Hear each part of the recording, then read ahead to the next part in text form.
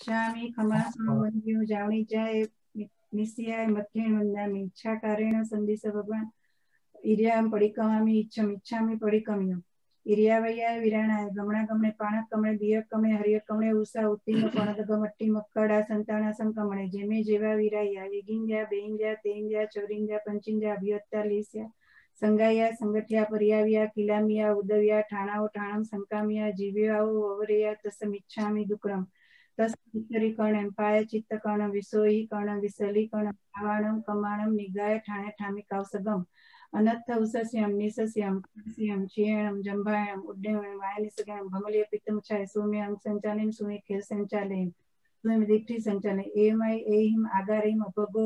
સુમે કાવસગો જા ભગવંતાણમ નમુકારેનો ન પારિમી, તાવ કાયમ, ઠાણેણમ, મોણેણમ, જાણેણમ, એક લોગસનો કાવસક ન આવડે તો ચાર નૌકાર અપ્પાણમ ભૂસી રામી.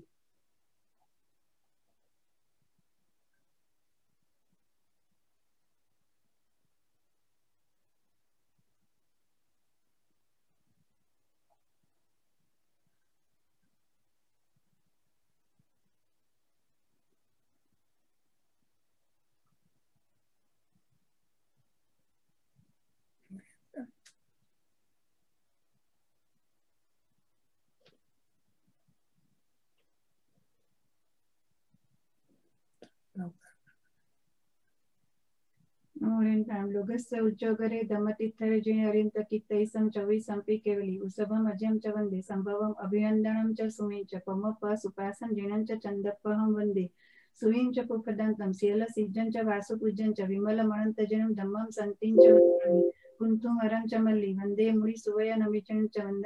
નેમિ પાસમ તહ વદ્દમાણં ચ एवं महे अभिथुआ विहोय रयमला परिणिजमा चौविसंपि जनवरा तिथैरामे पश्यन्तु कित्तीय वन्द्य मय्या जे लोगस्य उत्तमासिद्ध आरुकबोलाभं समाहि वरमुत्तमं दिन्तु छन्दे सुनिम्बलय रायचे स्वयं पायासैरा सागर वर गंभीरा सिद्धा सिद्धि मम दिसन्तु नमो रेन्ताणं नमो सिद्धाणं नमो आयर्याणं नमो उवज्जायणं नमो लोये सव सावणम् एसो पंच नमुक्कारो सव्व पाव पणासम मंगलायणं च सवे सिंह परमं सवै मंगलम् ત્રણ નવકાર ગણવાનું યાદ રાખજો. આભાર બીનાબેન. થેન્ક યુ મને લાભ હસનભાઈ? યા આપણે ટાઈમ પણ છે અને એક મિનિટ આપણે મૌન થઈ જઈએ આ યોગેશભાઈ માટે. શ્યોર શ્યોર એવું કાંઈક કહીએ આપણને ઓકે તો તમે અનાઉન્સ કરો ને ચાલુ કરી દે. એટલે યોગેશભાઈ ને પેલા કઈ કેવું છે કે હું શરૂ કરું? કિશોરની વાત છે. મૌન એક મિનિટ માટે આપણે યોગેશભાઈ ના નિધન માટે મૌન પાડીએ અને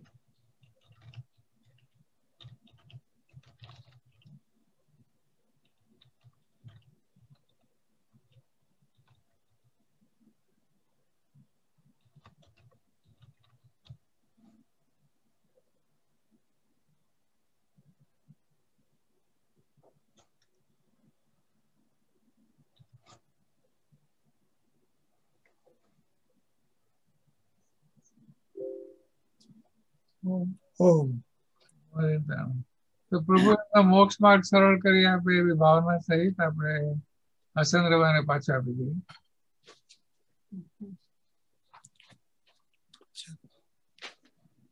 નમો અરિહંતાણમ નમો સિદ્ધાણમ નમો આયરિયાણમ નમો વજ્જાયાણમ નમો લોએ સવ્વસાહુણમ એસો પંચનમુકારો સવ્વપાવપણાસણો મંગલાણમ ચ સવેસી પડમં હવૈ મંગલમ નમો અરિહંતાણમ નમો સિદ્ધાણમ નમો આયરિયાણમ નમો વજ્જાયાણમ નમો લોએ સવ્વસાહુણમ એસો પંચનમુકારો સવ્વપાવપણાસણો મંગલાણમ ચ સવ્વેસી પડમં હવૈ મંગલમ નમો અરિહંતાણમ નમો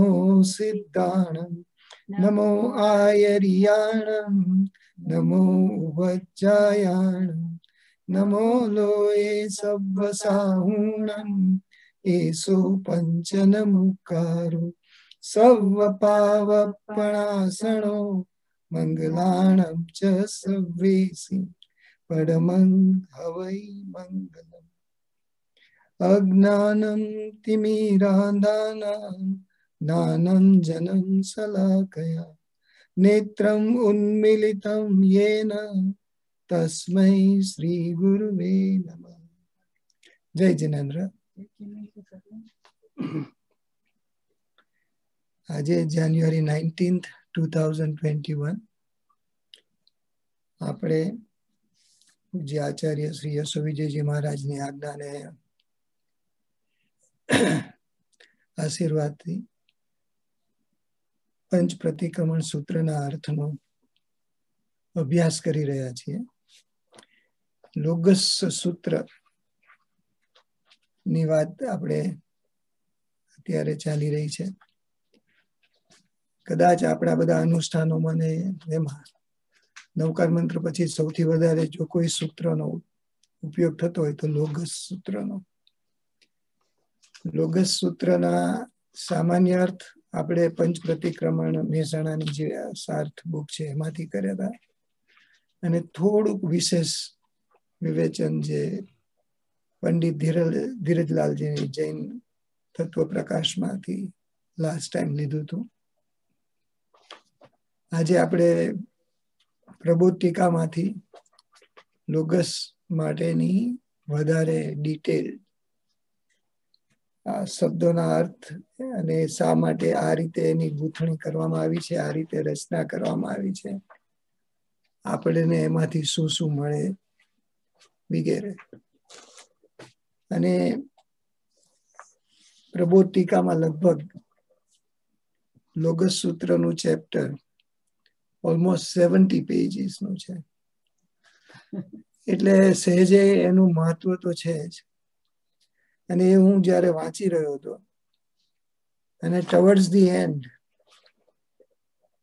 ત્યારે પછી એમાં લોગસ સૂત્રના અધ્યયનના અધિકાર માટે જે ઉપદાન તપ કરવામાં આવે, કરવું જોઈએ, એનું અહીંયા બહુ સરસ ડિટેલમાં ડિસ્ક્રિપ્શન આપ્યું છે.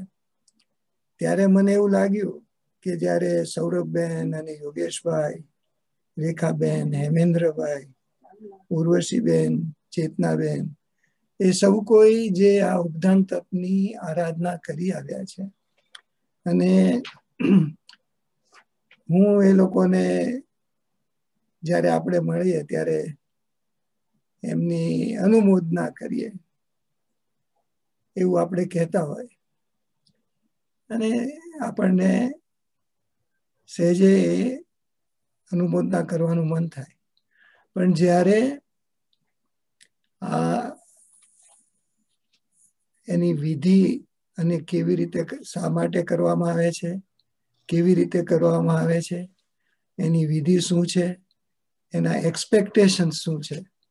એ બધું જોતા મને લાગ્યું કે હું જે એ લોકોની અનુમોદના કરું છું કરું છું, એવું કયા કરું કદાચ વધારે ઔપચારિક હતું.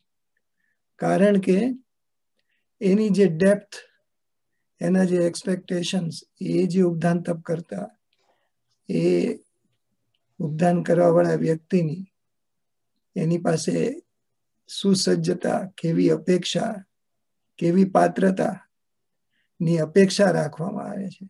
એનો આપણને ખ્યાલ હોય અને એ સાથે એ સમજ્યા પછી આપણે એની અનુમોદના કરીએ, તો કદાચ સાચી દિલથી અનુમોદના કરીએ, તો આપણને ભવિષ્યમાં, આ જન્મમાં નહીં તો ગમે ત્યારે.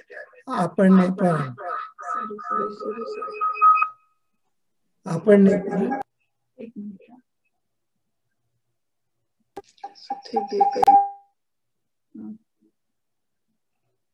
એવી આરાધના કરવાનો ચાન્સ મળે. તો અને એ છે ને જે આખા લોગસ સૂત્રના બધા જ ડિટેલના અર્થ અને બધું વિવેચન બધી રિસર્ચ એમાંથી બધા જે પોઈન્ટ મુદ્દાઓ એમણે તારવ્યા છે, એના પછી એના અંતમાં આપ્યું હતું. એટલે મારું વાંચવામાં જે ક્રમબદ્ધ પાના વાંચતો જતો હતો એમાં છેલ્લે આવ્યું. પણ મને એવું લાગ્યું કે એ વિશે આપણે પહેલા વિચાર, પહેલેથી વિચારીએ તો આપણને સહેજે આગળથી જ્યારે એના અર્થ અને ડિટેલ કરતા જઈએ, તો એનું જે બહુમાન અથવા તો શા માટે આટલું ઇમ્પોર્ટન્ટ છે? આચાર્ય ભગવંતોએ એને કેટલા જુદા જુદા આગમ ગ્રંથોમાં એના વિશે વિશ્લેષણ અને ચર્ચા કરી છે. એટલી બધી શા માટે કરી છે એનો આપણને ખ્યાલ આવે. અને આપણને જે કોઈને આવું અનુષ્ઠાન કરવાનો લાભ મળ્યો છે, એના માટે બહુમાને થાય. લોગસ સૂત્ર માટે આપણને બહુમાન થાય, પૂજ્ય ભાવ થાય. અને જે કેવડી ગણધર ભગવંતોએ એની રચના કરી, એના માટે પણ આપણી ભાવની વૃદ્ધિ થાય. અને આપણા માટે વધારે રિવોર્ડિંગ નીવડે. એટલે જ્યારે અમે મહેશભાઈને કહ્યું હતું કે પેજ નંબર અહીંથી શરૂ કરશું, પણ આ જે પેજ નંબર થશે, કારણ કે જે ઉપદાન વિશેની જે માહિતી આપી છે ને, એ પાછળ આપેલી છે. એટલે મહેશભાઈ, એનું page number I think two hundred eighty three કે એટી ફાઈવ થશે પીડીએફમાં જેને પ્રોજેક્ટ કરશું આપણે. તો એ તપ ઉપધાન અને બુકનું જે પેજ છે બસો ટુ ઓ થ્રી છે, બસો ત્રણ. એટલે જો તમે પ્રોજેક્ટ કરતા હોય તો આપણે શરૂઆત ત્યાંથી કરવી છે, તપ ઉપધાન. એટલે આપણે પ્રબોધ ટીકામાં પેજ નંબર, બુકમાં page number two O three છે, અને પેલામાં કદાચ ટુ એટી ફાઈવ. હા, તો ટુ ઓ થ્રી ના એન્ડમાં છે.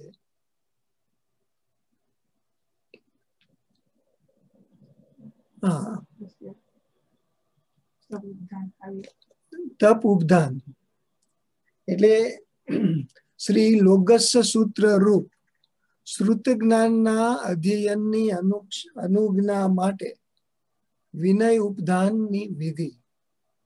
એટલે આમાં અહીંયા ભલે આમ વિધિ દર્શાવી છે એટલે શું કરવાનું, શું અપેક્ષા રાખવામાં આવે છે એ માટે તો પહેલા એમને બેકગ્રાઉન્ડ આપ્યું આપને, જે એસ્ટરિક કે સ્ટાર કર્યો છે. એક તો આપણને સમજાવે છે કે આપણા બધા ગંધર રચિત સૂત્રો અને આપણા જે કોઈ શાસ્ત્ર હોય, હમણાં જ ઇન્ડિયા સાધુ ભગવંતોની વયાવચ માટેનો એક મારે ફોન કોલ ચાલતો હતો.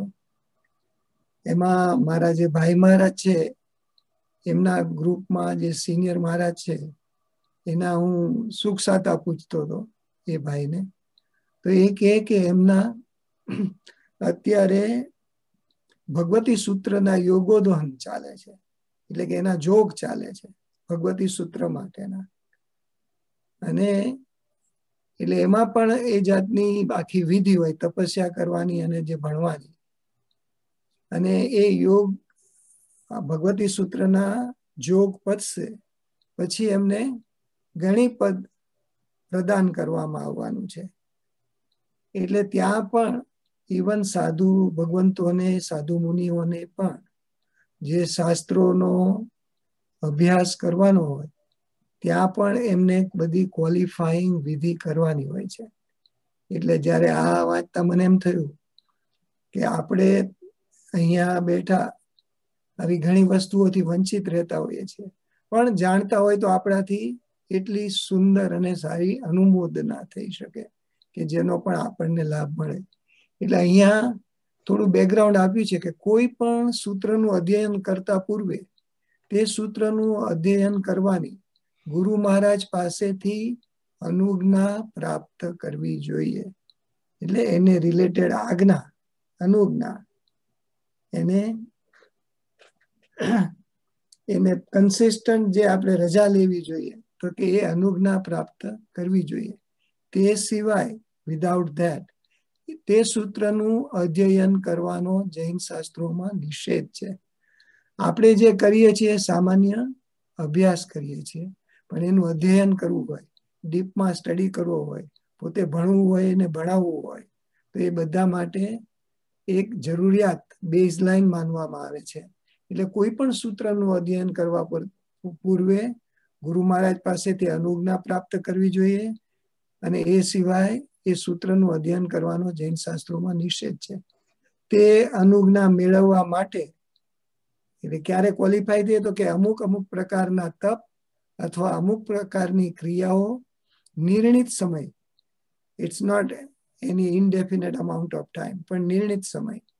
કરાતી ક્રિયા તપ વગેરેને ક્રિયા સોરી અમુક અમુક પ્રકારના તપ અથવા અમુક પ્રકારની ક્રિયાઓ નિર્ણિત સમય પર્યંત કરવાની હોય છે. એ રીતે તે તે સૂત્ર માટે નિર્ણિત કરેલ સમય પર્યંત કરાતી ક્રિયા તપ વગેરેને ઉપધાન કહેવામાં આવે છે. એટલે એવું ધ્યાન કે એવા ધ્યાન કોન્સ્ટન્ટલી નજીક રહેવાનું કે ઉપધાન કહેવામાં આવે છે.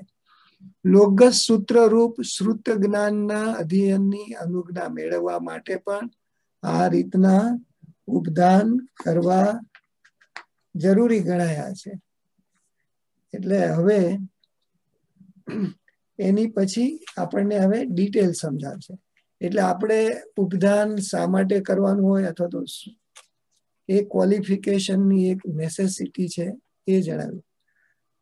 અને હવે એમ કે છે હવે એનું ડિસ્ક્રિપ્શન આપે છે. એ ગૌતમ ભગવાનને, એટલે ગૌતમ સ્વામીને, મહાવીર સ્વામી ભગવાન કહેતા હોય, એમને ઉદ્દેશીને એ રીતેનું પ્રેઝન્ટેશન છે કે, હે ગૌતમ, એકાંતિક, આત્યંતિક, પરમ શાશ્વત, ધ્રુવ, નિરંતર એવા સર્વોત્તમ સુખની, સુખના આકાંક્ષીએ.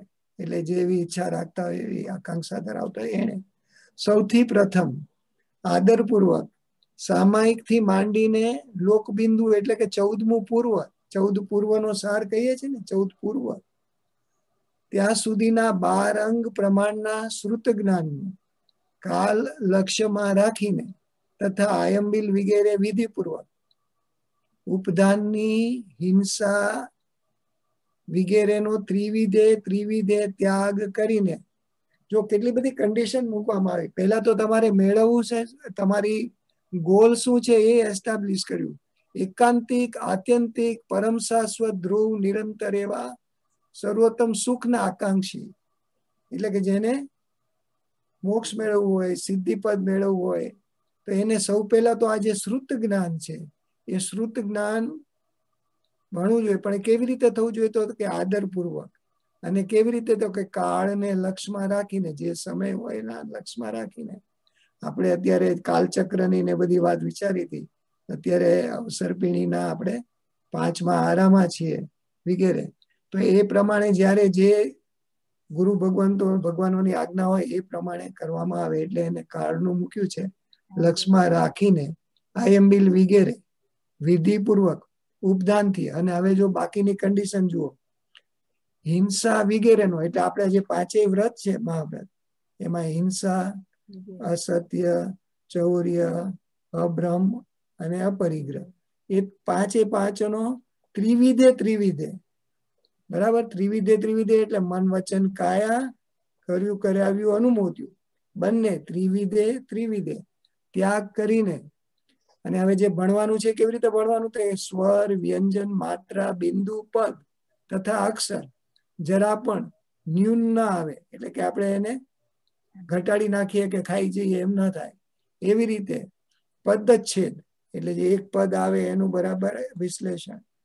પછી ઘોષબદ્ધતા એટલે એનું જે ઉચ્ચારણ કરવાનું હોય, ઘોષણા કરવાની હોય, એ કેવી રીતે બોલવાનું? ઘોષબદ્ધતા. પછી પૂર્વાનું પૂર્વી પશ્ચાનું પૂર્વી અને અનાનું પૂર્વી એટલે શરૂઆતથી કરીને એન્ડ સુધી અથવા તો એન્ડથી કરીને બેકવર્ડ જાઓ. અથવા તો ગમે તે વચ્ચેની ગાથામાંથી. તો એ અનાનું ખૂબ જ વિશુદ્ધ રીતે તેમજ ભૂલ્યા વિના એકાગ્રતા પૂર્વક જ્ઞાન મેળવવું જોઈએ.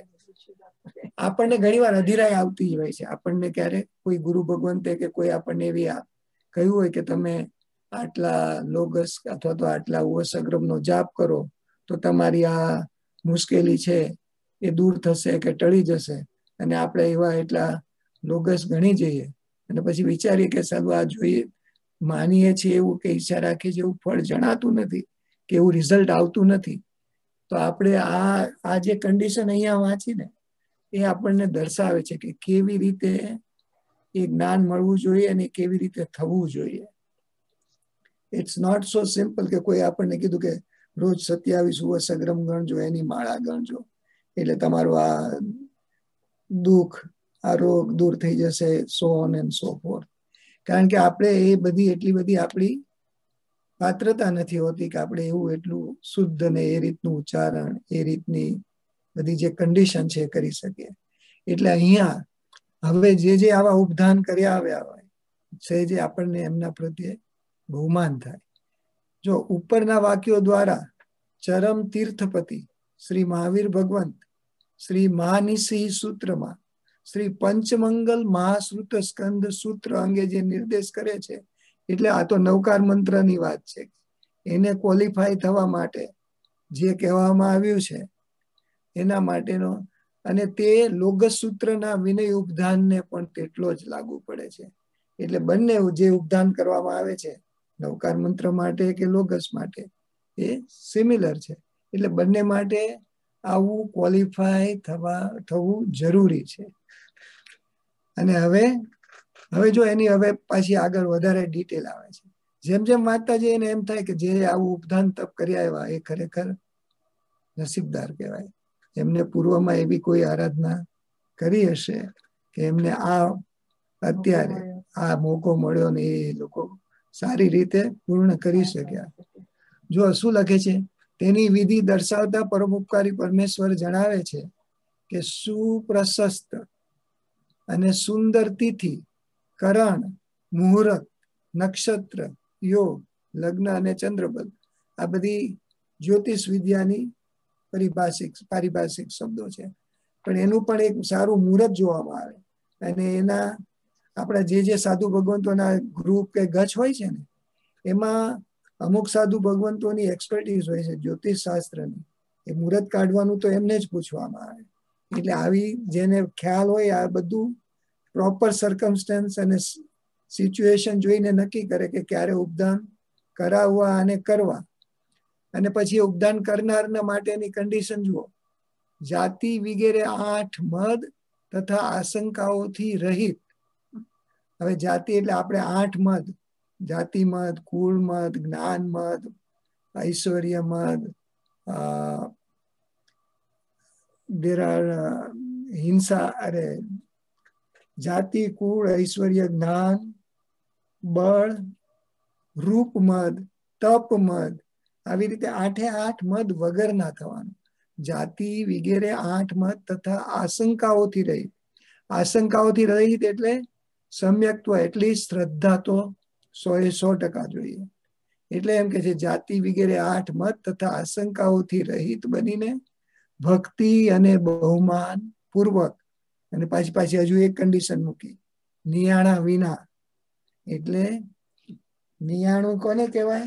આ લોક કે પરલોકમાં સુખોની અપેક્ષા રાખવી, ઈચ્છા રાખવી. આપણે ત્રણે નિયાણા વિચારે ત્રણ શલ્ય વિશે વિચાર કર્યો હતો તો એ રીતે અહીંયા નિયાણા વગર. એટલે જુઓ, હવે જે વ્યક્તિ જેને સાધુ ભગવંત આવા ઉપધાન તપની રજા આપે એની પોતાની પાત્રતા કેવી સરસ જોઈએ. જાતિ વગેરે આઠ મદ અને આશંકાઓથી રહિત બનીને ભક્તિ અને બહુમાન પૂર્વક નિયાણા વિના પછી ત્રણ ઉપવાસ પ્રમાણ તપ કરીને જૈન ચૈત્યમાં જંતુ રહિત પ્રદેશમાં અને હવે વધારે ક્વોલિફાયર્સ ભક્તિથી સભર બનીને નત મસ્તકે હજુ વધારે પ્રફુલ્લિત રોમરાજી અને આપણે પરાણે પરાણે કરતા હોય એવું નહીં. પણ પ્રફુલ્લિત રોમરાજી, વિકસિત વદન કમળ, પ્રશાંત, સૌમ્ય અને સ્થિર દ્રષ્ટિ. નવા નવા સંવેગથી ઉછળતા. સંવેગ એટલે મોક્ષની અભિલાષા. એ તરફ વધારે ને વધારે ઈચ્છા હોય. અત્યંત નિરંતર અને અચિંત્ય એવા શુભ પરિણામ વિશેષથી ઉલ્લસિત. અને હજુ વધારે, આત્મવીર્ય અને પ્રતિ સમય વૃદ્ધિ પામતા પ્રમોદથી. પોતે પ્રમોદ, વૃદ્ધિ પામતો પ્રમોદ હોય એટલે શું થાય? આજુબાજુ જે કઈ ગુરુ ભગવંતો હોય, સાધુ ભગવંતો હોય, બીજા બધા સહ તપસ્વી હોય, એ બધામાં ગુણો જોવાના. એટલે એનો વૃદ્ધિ પામતો પ્રમોદ ભાવ. વિશુદ્ધ, નિર્મળ અને સ્થિર અંતરકરણ વાળા બનીને. એટલે જ્યારે આવું ઉપધાન તપ કરતા હોય, ત્યારે ગુરુ ભગવાન તો એમને એટલું જે ઉપદેશ આપે અને જે પ્રવચન આપે, એમાં આ બધી શીખ આપવામાં આવતી હોય કે તમારે આવા આવા ભાવ જાળવવાના છે. અને પછી જુઓ, જમીન ઉપર બે ઢીચણ, બે કરકમલ અને મસ્તક નમાવીને, એટલે પાંચે પાંચ અંગ નમાવીને અંજલિ પુટ રચીને ધર્મ તીર્થંકરોના બિંબ પર દ્રષ્ટિ તથા મનને સ્થિર કરી દ્રઢ ચારિત્ર્ય વગેરે ગુણ સંપદાથી સહિત જો આટલું સરસ આપણે આ જાણતા હોય કે ઉપધાન તપ કરવા વાળાના આવા આવા ભાવ હોવા જોઈએ, આવી આવી કન્ડિશન મીટ કરે, તો જ્યારે આપણે એમની અનુમોદના કરીએ, ત્યારે આપણને એમ થાય કે જેટલા દિવસ ઉપધાન તપ કરી આવ્યા, જે સંયમ જીવન જીવી આવ્યા, એ તો અદ્ભુત લાગે આપણને. તો ધર્મ તીર્થંકરો નેક્સ્ટ પેજ પર મહેશભાઈ. ધર્મ તીર્થંકરોના બિંબ પર દ્રષ્ટિ તથા મનને સ્થિર કરી, દ્રઢ ચારિત્ર વગેરે ગુણ સંપદાથી સહિત પછી હવે પાછી આગળ શું કે છે? અબાધિત ગુરુના મુખમાંથી નીકળેલ, તેમના સંતોષ તથા કૃપાથી મળેલ તો એ કેવા છે? તો કે સંસાર સમુદ્રની અંદર નૌકા સમાન, મિથ્યાત્વના દોષથી નહીં હણાયેલ વિશિષ્ટ બુદ્ધિવાળા ગરધર ભગવંતોએ રચેલ સાત ગાથા પરિ, પરિમાણવાળા. આ આપણા લોગસ સૂત્રમાં કેટલી ગાથા છે? સાત ગાથા છે. એ શ્રી લોગસ સૂત્રની ચાર પદ અને બત્રીસ અક્ષર પ્રમાણવાળી પ્રથમ ગાથાનું અધ્યયન ત્રણ ઉપવાસ જેટલો તપ કરવા દ્વારા કરવું જોઈએ. સાત ગાથામાંથી પહેલી ગાથાનું અધ્યયન કરવા માટે ત્રણ ઉપવાસ. એટલે કે મોટા વિસ્તારથી સ્ફુટ, નિપુણ, શંકારહિતપણે સૂત્ર તેમજ અર્થને અનેક પ્રકારે સાંભળીને અવધારણ કરવા જોઈએ. જો કેવો અભ્યાસ થાય, આપણે તો એકવાર આ જયારે વાંચી લીધો, પૂરું થઈ ગયું, પછી ચોપડી બંધ કરીને મૂકી દીધી. એટલે પાછું કોઈ ફરીથી કોઈ કહે કે હવે તમે લોગસના અર્થ ભણ્યા છો, શું કર્યા છે? તો આપણે ફરીથી પાછી બુક ખોલીને વાંચવા પડે. અહીંયા એટલે કે છે, તેમજ અર્થોને અનેક પ્રકારે સાંભળીને અવધારણ કરવા જોઈએ. એને ધ્યાન રાખવાના. અને પછી હવે જો આગળનું ક્વોલિફિકેશન કે છે, ત્યારબાદ બીજી, ત્રીજી અને ચોથી ગાથા. એ ચાર, એ ત્રણેય ગાથામાં ચોવીસ ભગવાનના નામ આવે છે. એ ગાથાનું છ ઉપવાસ જેટલો તપ કરવા દ્વારા કરવું જોઈએ. પછી તે જ પ્રમાણે પાંચમી, છઠ્ઠી અને સાતમી ગાથાનું અધ્યયન. સાડા છ ઉપવાસ જેટલો તપ કરવા દ્વારા કરવું જોઈએ. જો આ ઉપધાનમાં આપણે શું માનીએ કે આપણે કોઈને પૂછીએ ને, તો પછી આપણે એવું પૂછતા હોય, કેટલા ઉપવાસ કરવાના આવે ને કેટલા એકાસના આવે? આપણી ત્યારે એ ખ્યાલ નથી હોતો કે એક એક ગાથા કેટલી અવધારવાની હોય છે, એના અર્થ, જુદા જુદા અર્થો કેટલા સાંભળવાના હોય, એને કેટલા અવધારણ કરવાના. વગેરે વગેરે જે અપેક્ષા છે, જે છે એ કેવી રીતે થાય, એની આ વાત છે. આ રીતે વિધિપૂર્વક લોગસ સૂત્ર રૂપ શ્રુત જ્ઞાન, આ કે જેવું તેવું નથી, એ શ્રુત જ્ઞાનનો પાર્ટ પાર્ટ છે. એ શ્રુત જ્ઞાન ક્યાંથી આવ્યું? તો કે તીર્થંકર ભગવંતો પાસેથી આવ્યું. તે લોગસૂત્રરૂપ રૂપ શ્રુત જ્ઞાનના અધ્યયનની અનુજ્ઞા પ્રાપ્ત કરવાનો નિર્દેશ કરતો પાઠ આ ક્યાંથી લીધો છે તો કે શ્રી મહાનિશી સૂત્રમાં નીચે પ્રમાણે કયો છે? ચૌવી સપ્તયમ એગેણમ છઠ્ઠેણમ, એગેણમ ચૌથેણમ પણવિસાય આયમ વિલેહિમ. એને શ્રી મહાનિશી સૂત. એટલે જે કોઈ આ રીતે અન્ય સર્વ કહેલી વિધિઓનું હવે કેવી રીતે વિધિ થવી જોઈએ કે છે? અતિક્રમણ કર્યા વિના ઉપધાન તપને કરે છે. તે પ્રિય ધર્મી, દ્રઢ ધર્મી, એકાંતે, એકાંત ભક્તિયુક્ત સૂત્ર અને અર્થની અંદર અનુરાગી મનવાળો, શ્રદ્ધા તથા સંવેગથી યુક્ત બનેલો. ભવરૂપી કારાવાસમાં ગર્ભવાસની અનેકવિધ પીડાઓને વારંવાર પામતો નથી. એટલે જે આવું તપ કરે છે એને હવે થોડા જ જન્મ રહ્યા બાકી. એટલે એમ કીધું કે આ અભાવરૂપી કારાવાસમાં ગર્ભવાસની અનેકવિધ પીડાઓને વારંવાર પામતો નથી. હવે આટલું બધું રિવોર્ડ કેવી રીતે મળે? આજે ઉપદાન તપ કરે તો કે એમની જપ માલિકા, એટલે જે નવકાર વાળી આપણે કહીએ છીએ ને લોગસની માળા ગણવાની, આ એ કે છે જપ માલિકા. લોગસ સૂત્રના ઉપદાન દરમિયાન દરરોજ સંપૂર્ણ લોગસ સૂત્રનો જપ, કે જાપ જે આપણે કહીએ, એ માળાના ત્રણ આવર્તન દ્વારા કરવાનું હોય છે. એકસો આઠ મણકાની માળા, એ ત્રણ વખત ઘુમક ફેરવવાની. એટલે કેટલા થાય? દરરોજ ત્રણસો ને ચોવીસ વાર લોગસ સૂત્રનું સ્મરણ થાય છે. એટલી નવકારવાળી કરવાની. અને ઉપદાનના અઠ્યાવીસ દિવસમાં કેટલા થાય? એકંદરે નવ હજાર બોતેર વાર સ્મરણ થાય છે. બોલો હવે ફળ મળે ને તો આ હવે જો યોગેશભાઈ ને કે સૌરભબેન ને કે ચેતનાબેન હેમેન્દ્રભાઈ રેખાબેન ને આ બાબતમાં કઈ શેર કરવું હોય તો they are most welcome to share with their experience or whatever effect they may have. I welcome them. We can unmute them if they can give us some insight એમના ઉપદાન તપ દરમિયાનની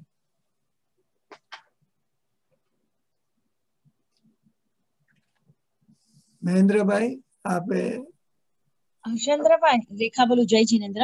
જય જીનેન્દ્ર ઓગસ્ટનું અઠ્યાવીસ દિનનું ત્રીજું ઉપદાન નથી કર્યું. મેં ખાલી પહેલું જ ઉપદાન નૌકારનું ને અરિયન છે એનું જ કર્યું છે પુખરવદી. મને લાગે યોગેશભાઈ અને સૌરભ બેને ત્રણે ત્રણ ઉપદાન કર્યા છે એટલે એમને ખાસ પૂછો. મીછામી દુકડમ. મારો મારો એવો ખ્યાલ હતો તમે બધાએ જે કર્યા છે. ના અમે ત્રણ નથી કર્યું. હા સોરી હા ધેટ્સ ઓકે યોગેશભાઈ સૌરભબેન તમે અનમ્યુટ થઈને કઈ જય જીનેન્દ્ર. જય જીનેન્દ્ર યોગેશભાઈ. ભગવાનની કૃપાથી અમને ત્રણે ત્રણ ઉપદાનનો લાભ મળે તો આચાર્ય યશો વિજય સુરીજીના હાથ નીચે પહેલું ઉપદાન અમે નોર્થ ગુજરાતમાં ધનિયાવાડામાં કર્યું હતું. એમાં અડતાલીસ દિવસ હતા. પછી બીજું ઉપદાન અમે સુરતમાં કર્યું હતું. એ અઠાવીસ દિવસનું હતું. એ પાંત્રીસ દિવસનું હતું. અને છેલ્લું ઉપદાન અમે પાલિતાણામાં કર્યું હતું આચાર્ય ભગવાનના હાથ નીચે. બે હજાર પંદરમાં. એ લોગસનું પાંત્રીસ દિવસનું અઠાવીસ દિવસ. મિચ્છામ અઠાવીસ દિવસનું હતું. તો આમાં જે લખ્યું છે ને એ પ્રમાણે એક સેકન્ડ મહેશભાઈ શેર બંધ કરો ને એક સેકન્ડ એટલે એનો ફેસ મોટો દેખાય. બસ. થેન્ક યુ થેન્ક યુ હવે બોલો સાહેબ. હવે આ ઉપદાન દરમિયાન બધા સાધકોને રોજ આચાર્ય ભગવાનના સ્વાધ્યાયનો લાભ મળતો હતો. અને એ ઉપરાંત આજે દિવસ દરમિયાન જે બધી વિધિ હતી સો ખમાસ હમણાં સો ત્રણ લોગસની માળા ગણવાની. એટલે એકસો આઠ મણકાની ત્રણ માળા ગણવાની. અને આ બધું કરવાથી આપણે એટલા બધા ધર્મમાં પ્રવૃત્ત રહીએ કે બીજી કોઈ ચર્ચા વિચારણા કે સાંસારિક વાતો કરવાની તક ઓછી મળે. અને અમે પાલિતાણા પવિત્ર ભૂમિ તો છે જ. તો આ જે લાભ અમને અમારા જીવનમાં મળે સૌરભને અને મને એ ખૂબ અનેરો લાભ હતો. તો આમાં સૌથી વધારે તો સાહેબજીનું જે વાતના મળે અને લોગસ તરફની આપણી જે અહોભાવ વ્યક્ત થાય એ બહુ સુંદર હતો. એ ખૂબ જ જાણે કે જીવનનો બહુ જ આનંદિત પ્રસંગ હતો. હવે હું પ્રિપેર નથી એટલે તમને બીજું તો શું કહું? તમે કોઈને સવાલ હતો જવાબ આપો. તમારા હૃદયમાંથી જે આવે એ જ બહુ સરસ છે. મને તો I was preparing for today's સ્વાધ્યાય. This happens to be at the end of the chapter પણ મને વાંચતા એવું લાગ્યું ને મને ખૂબ અહોભાવ થયો ને મને એમ થયું કે હું તમારા સર્વેની અનુમોદના કરતો હતો પણ એમાં ઊણો ઉતર્યો. કારણ કે આટલી બધી વિગત ખબર નહોતી.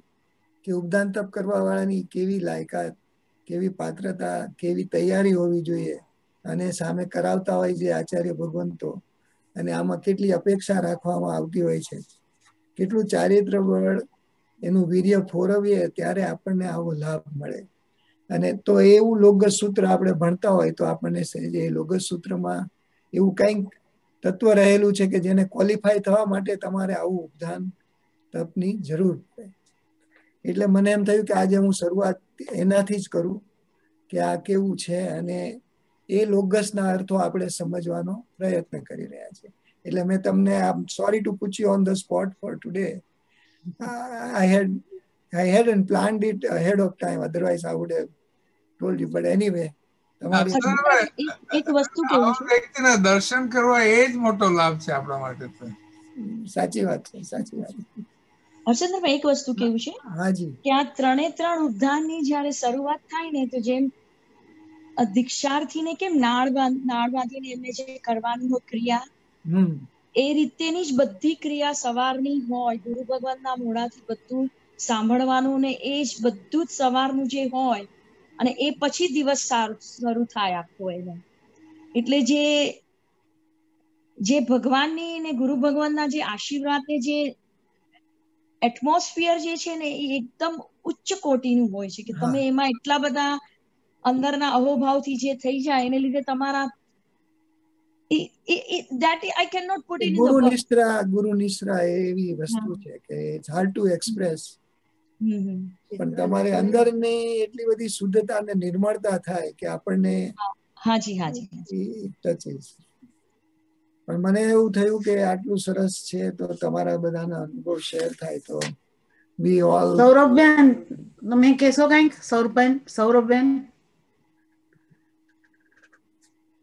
જય જીનેન્દ્ર ખૂબ ખૂબ આરાધના કરવા જેવી છે અને ખરેખર એનાથી મનને શાંતિ ને જાણવા તો ખૂબ મળ્યું ખૂબ મળ્યું. એનું મને પોતાને ઘણી બધી ખબર નથી.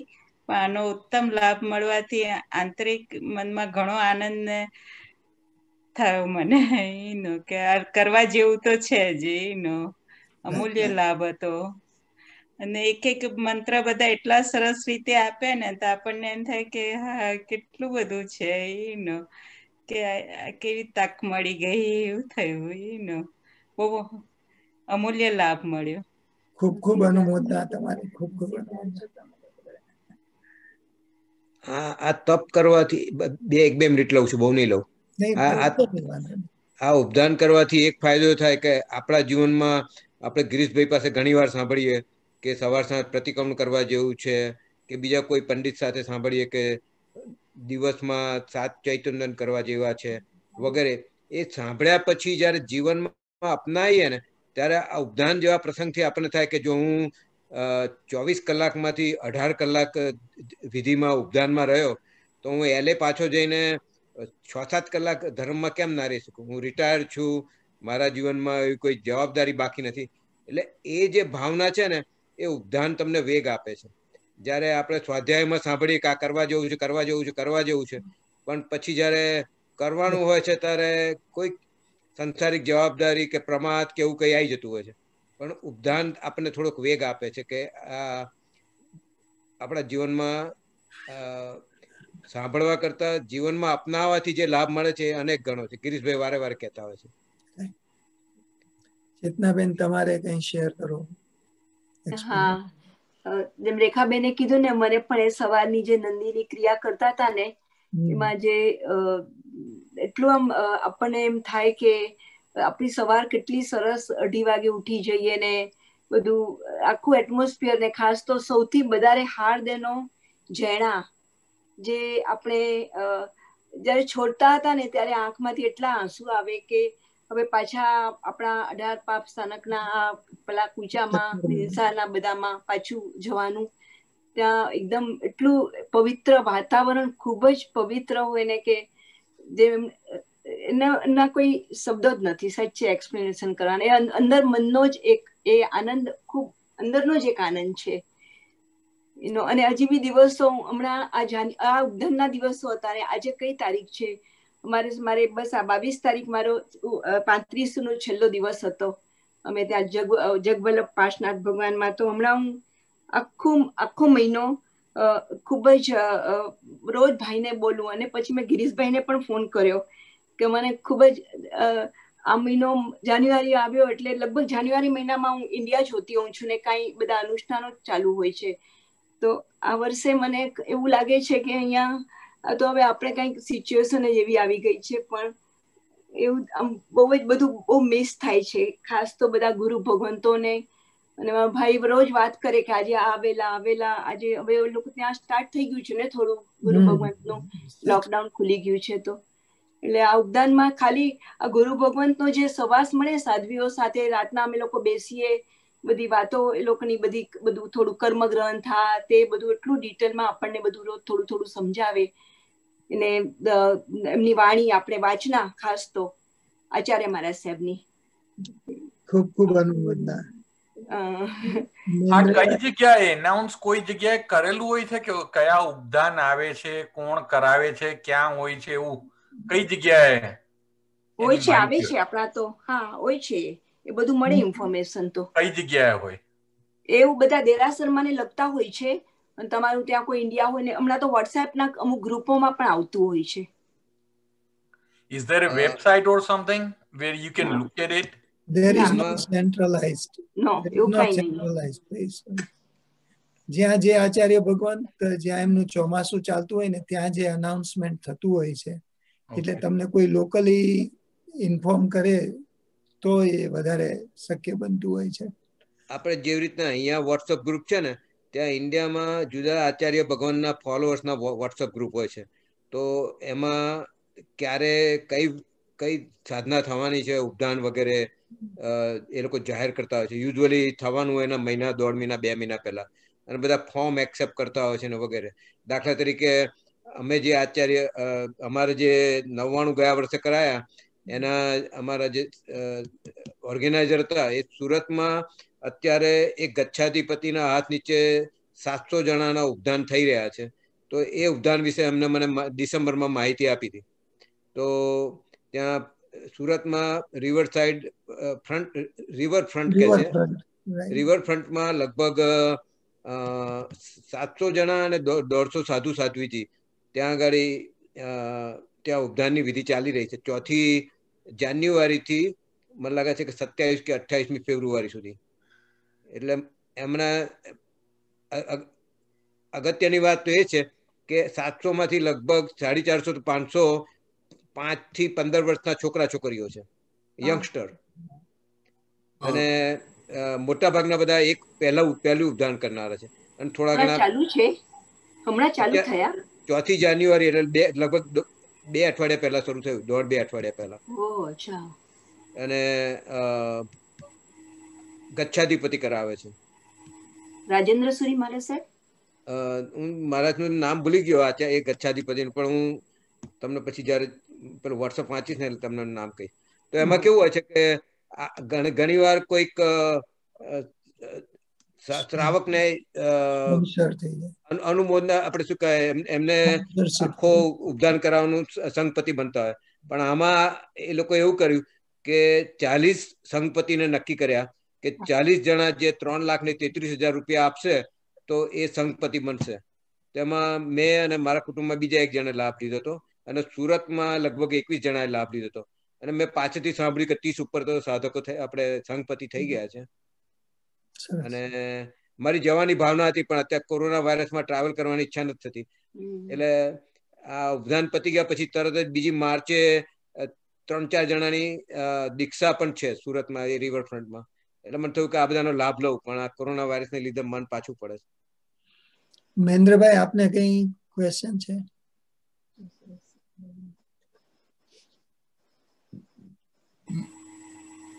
પ્રણામ. બોલો. આ માનસી સૂત્ર એ કોઈ આગમ છે કે આગમનો પાઠ છે?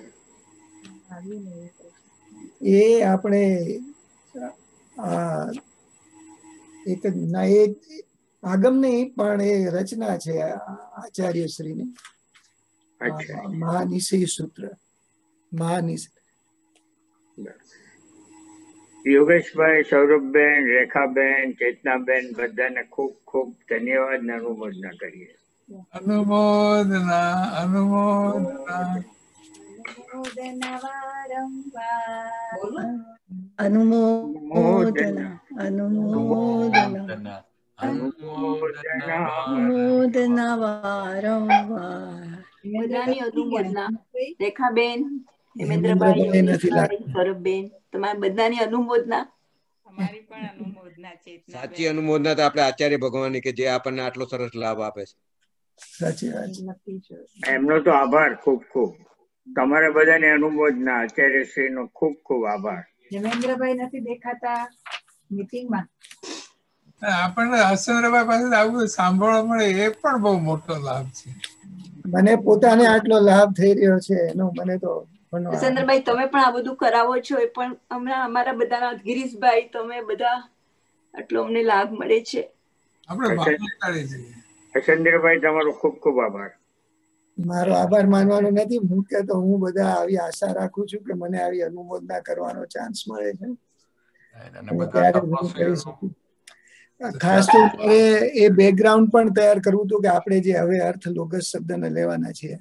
We want to take it in very good detail પણ એનું ડિટેલનું આવું બેકગ્રાઉન્ડ તૈયાર કરું હતું કે આ લોગસ કેટલું ઇમ્પોર્ટન્ટ સૂત્ર છે એના માટે એની અનુજ્ઞા માટે કેવા ઉપધાન તપની કેવી આરાધના કરવામાં આવે છે.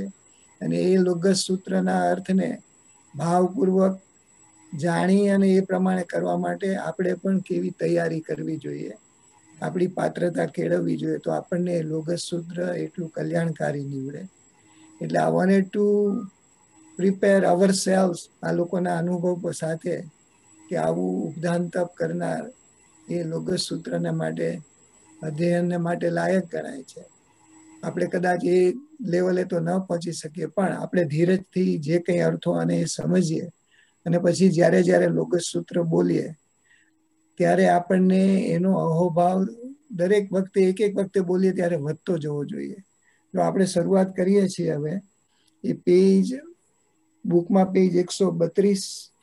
એક નાની વસ્તુ કેવી રીતે હસનભાઈ કે તમે હમણાં સુધી જે કીધું ને એનાથી આપણે સ્વાધ્યાયમાં પણ કેટલું અલર્ટ રહેવું જોઈએ એનો બહુ ભાવ આવે છે અને અફસોસ થાય છે કે આ દિવસના અત્યાર સુધીના બધા દિવસો ખોટા બગાડ્યા. એકદમ ફોકસ કરવું જોઈએ.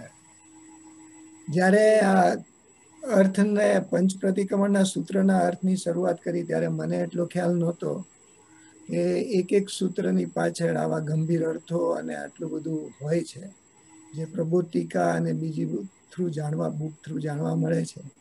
એટલે પૂજ્ય શ્રી, આચાર્ય શ્રીનો પર ઉપકાર કે એમને આ આપણને ગાઈડન્સ આપ્યું, આ બુકનું કહ્યું. અને હું આશા રાખું છું કે તમે પણ બધા મારી સાથે આ બુકની ડિટેલમાંથી જોડાયેલા રહેજો, ગભરાઈ ના જતા, કંટાળી ના જતા, થાકી ના જતા. કારણ કે એક એક શબ્દોનો એક એક અર્થના એટલું બધું અંદર અર્થ છે ગુઢાર્થ છે કે આપણે એકવાર પણ સાંભળ્યા હોય ને સમજ્યા હોય તો જ્યારે જ્યારે લોગસ બોલીએ તો આપણને એનું વધારે ને વધારે એના બહુમાન સાથેનો રિવોર્ડ મળે એવું છે. તો આપણે શરૂ કરીએ છીએ. પેજ એકસો બત્રીસ બુકમાં છે એટલે એટલું ટુ હંડ્રેડ ઇલેવન કેવું થશે?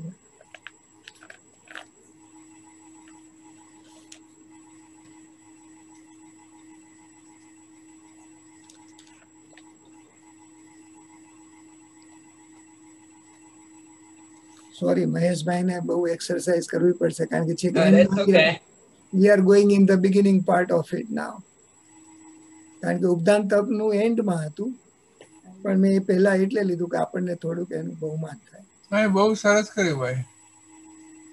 હવે આપણે જે લોગસ સૂત્ર છે એ તો આપણે ઘણી વાર બોલીએ છીએ અને ઇવન આપણે અત્યારે શ્રુત સામાયિક લેતા પણ બોલીએ છીએ. એટલે અત્યારે આખું સૂત્ર બોલતા નથી પણ આપણે એનો સામાન્ય વિશેષ અર્થ તથા તાત્પર્ય અર્થ તાત્પર્ય અર્થ એ લઈએ છીએ. અને હવે લોકગસ શબ્દથી શરૂઆત થાય છે. તો આપણે પંડિતજીની બુક જ્યારે કરી ત્યારે લોકનો અર્થ લોક અને અલોક એનું સ્વરૂપ. આપણે જાણ્યું કે લોક એટલે લોકમાં શું લેવું જોઈએ? તો જ્યાં પંચાસ્તિકાય છે, થોડુંક ઉપર મૂવ કરજો. નેક્સ્ટ પેજ હજી જરાક આગળ હા બસ. બસ બસ બસ બસ. વન થર્ટી ટુ છે બુકમાં page number one thirty two છે. એટલે સામાન્ય અર્થ વિશેષ અર્થ તથા તાત્પર્ય અર્થ. એ ત્રણેય કરતા જ કરવાના છે. તો લોકગસ જ્યારે આપણે કહીએ ત્યારે લોક એટલે ભગવાને જે લોકનું સ્વરૂપ જોયું એ લોક લોકની વાત છે. આપણે સમગ્ર વિશ્વ અને લો, વિશ્વને લોક અને અલોક. અને લોક શા માટે જુદું પડે છે? તો કે ત્યાં પંચાસ્તિકાય રહેલા છે. એટલે એમ કે છે, પ્રમાણથી જે જોવાય તે લોક છે. પ્રમાણ એટલે સમગ્ર રીતે. ઓનલી કેવડી ભગવાન દરેક વસ્તુનું જોવાનું એમનું પ્રમાણથી હોય. એટલે કે બધી અપેક્ષાએ જોઈ શકે. આપણે નહીં દ્વારા જાણતા હોય કે આપણે અમુક અપેક્ષાએ કે અમુક એંગલથી અમુક આપણું જે નોલેજ હોય કોઈ પણ વસ્તુનું એ પ્રાય આપણું અમુક એંગલ વાળું હોય કે એટલું નય પ્રમાણ હોય. ત્યારે અહીંયા પ્રમાણથી જોવાય છે તે લોક છે. અને લોક શબ્દથી અહીં પંચાસ્તી કાયાત્મક લોક ગ્રહણ કરવો.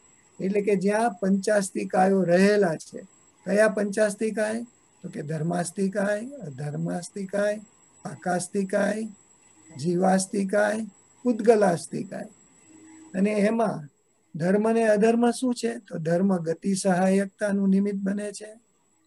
અધર્મ સ્થિરતા આપે માં નિમિત્ત બને છે. આકાશ અવગાહન આપવા સ્પેસ આપવામાં નિમિત્ત બને છે. અને જે જીવાસ્તિકાય અને પૂતગલાસ્તિકાય છે, એ બે તત્વો, પેલા ત્રણ તત્વો કરતા દ્રવ્યો, એ ત્રણ, આ બે દ્રવ્ય, પૂતગલાસ્તિકાય અને જીવાસ્તિકાય. એ બે અસ્થિકાય એટલે કે એ બે દ્રવ્ય. પેલા જે ત્રણ છે એના કરતી થોડા કેરેક્ટરિસ્ટિકમાં જુદા છે. ધર્માસ્તિકાય અધર્માસ્તિકાય અને આકાસ્તિકાય એ અક્રિય છે. એ ક્યાંય જોડાતા નથી સંગ કરતા નથી. એ પોતાનું જે નિમિત્ત બનવા રૂપ જે કારણ છે એ સિવાય કોઈ પ્રોએક્ટિવલી બીજો કોઈ રોલ ભજવતા નથી. તમારા નોટમાંથી વાંચ્યું છે કે બુકમાંથી ના અત્યારે હું જસ્ટ આમ નામ જ બોલી રહ્યો છું. ઓકે બાય તો જે જ્યાં ધર્માસ્તિકાય અને અધર્માસ્તિકાય છે, ત્યાં જ તે અને જે પૂતગલાસ્તિકાય અને જીવાસ્તિકાય છે, બે સક્રિય તત્વ, દ્રવ્ય છે. સક્રિય છે અથવા તો ગમનાગમન કરી શકે એવા છે. એ ગમનાગમન કરવા માટે એમને ધર્માસ્તિકાય, અધર્માસ્તિકાયની જરૂર છે. એની હાજરી વગર તો થઈ ન શકે. એટલે શું થયું કે ઉદ્ગલાસ્તિકાય અને જીવાસ્તિકાય એ ક્યાં ક્યાં જઈ શક્યા અથવા તો ક્યાં પહોંચી શક્યા વિશ્વમાં? અથવા તો આ જે કઈ લોકની લોકની જે અરેન્જમેન્ટ છે એમાં? તો કે જ્યાં ધર્માસ્તિકાય ને અધર્માસ્તિકાય હોય, ત્યાં સુધી જ આવન જાવન કરી શકે. તો આમ જીવાસ્તિકાય અને પૂતગલાસ્તિકાય, એટલે કે પૂતગલ તત્વો. અને જીવ, એ ક્યાં સુધી જઈ શકે? તો કે જ્યાં ધર્માસ્તિકાયની લિમિટ આવી જાય, અધર્માસ્તિકાયની. ત્યાંથી બિયોન્ડ ન જઈ શકે. એટલે જે બિયોન્ડ જઈ ન શકે એવી જે સ્પેસ છે એ અલોક. એટલે કે ત્યાં ન કોઈ પૂતગલ હોય કે ન કોઈ જીવ હોય. એવી એમ્પટી સ્પેસ તો એને અલોક કહ્યું. અને લોક કહીએ ત્યારે લોકમાં શું થાય? તો કે લોકમાં આવું જીવો હોય અને પૂતગલ હોય, એ લોક કીધો. તો એ રીતે પંચાસ્તિકાય રૂપ લોક, એટલે લોકસ ઉજ્જોગરે જ્યારે કહીએ, એટલે એ આવા લોકની વાત થઈ રહી છે. કે જ્યાં જીવાસ્તિકાય અને પૂતગલાસ્તિકાય હોઈ શકે. અને પછી આપણે પંડિતજીની બુકમાંથી જ્યારે જોતા હતા ત્યારે આપણે એ જોયું હતું કે આ ચૌદ રાજલોક પ્રમાણ લોક છે.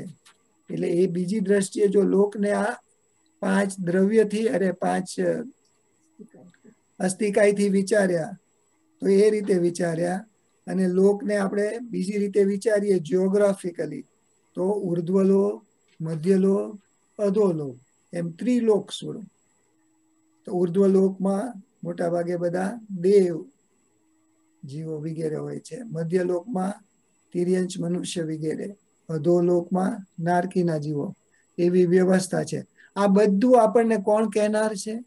લોકગસ ઉજ્જોગરે આ બધું લોકનું સ્વરૂપ, લોકની વ્યવસ્થા, આ બધું જણાવનાર કોણ?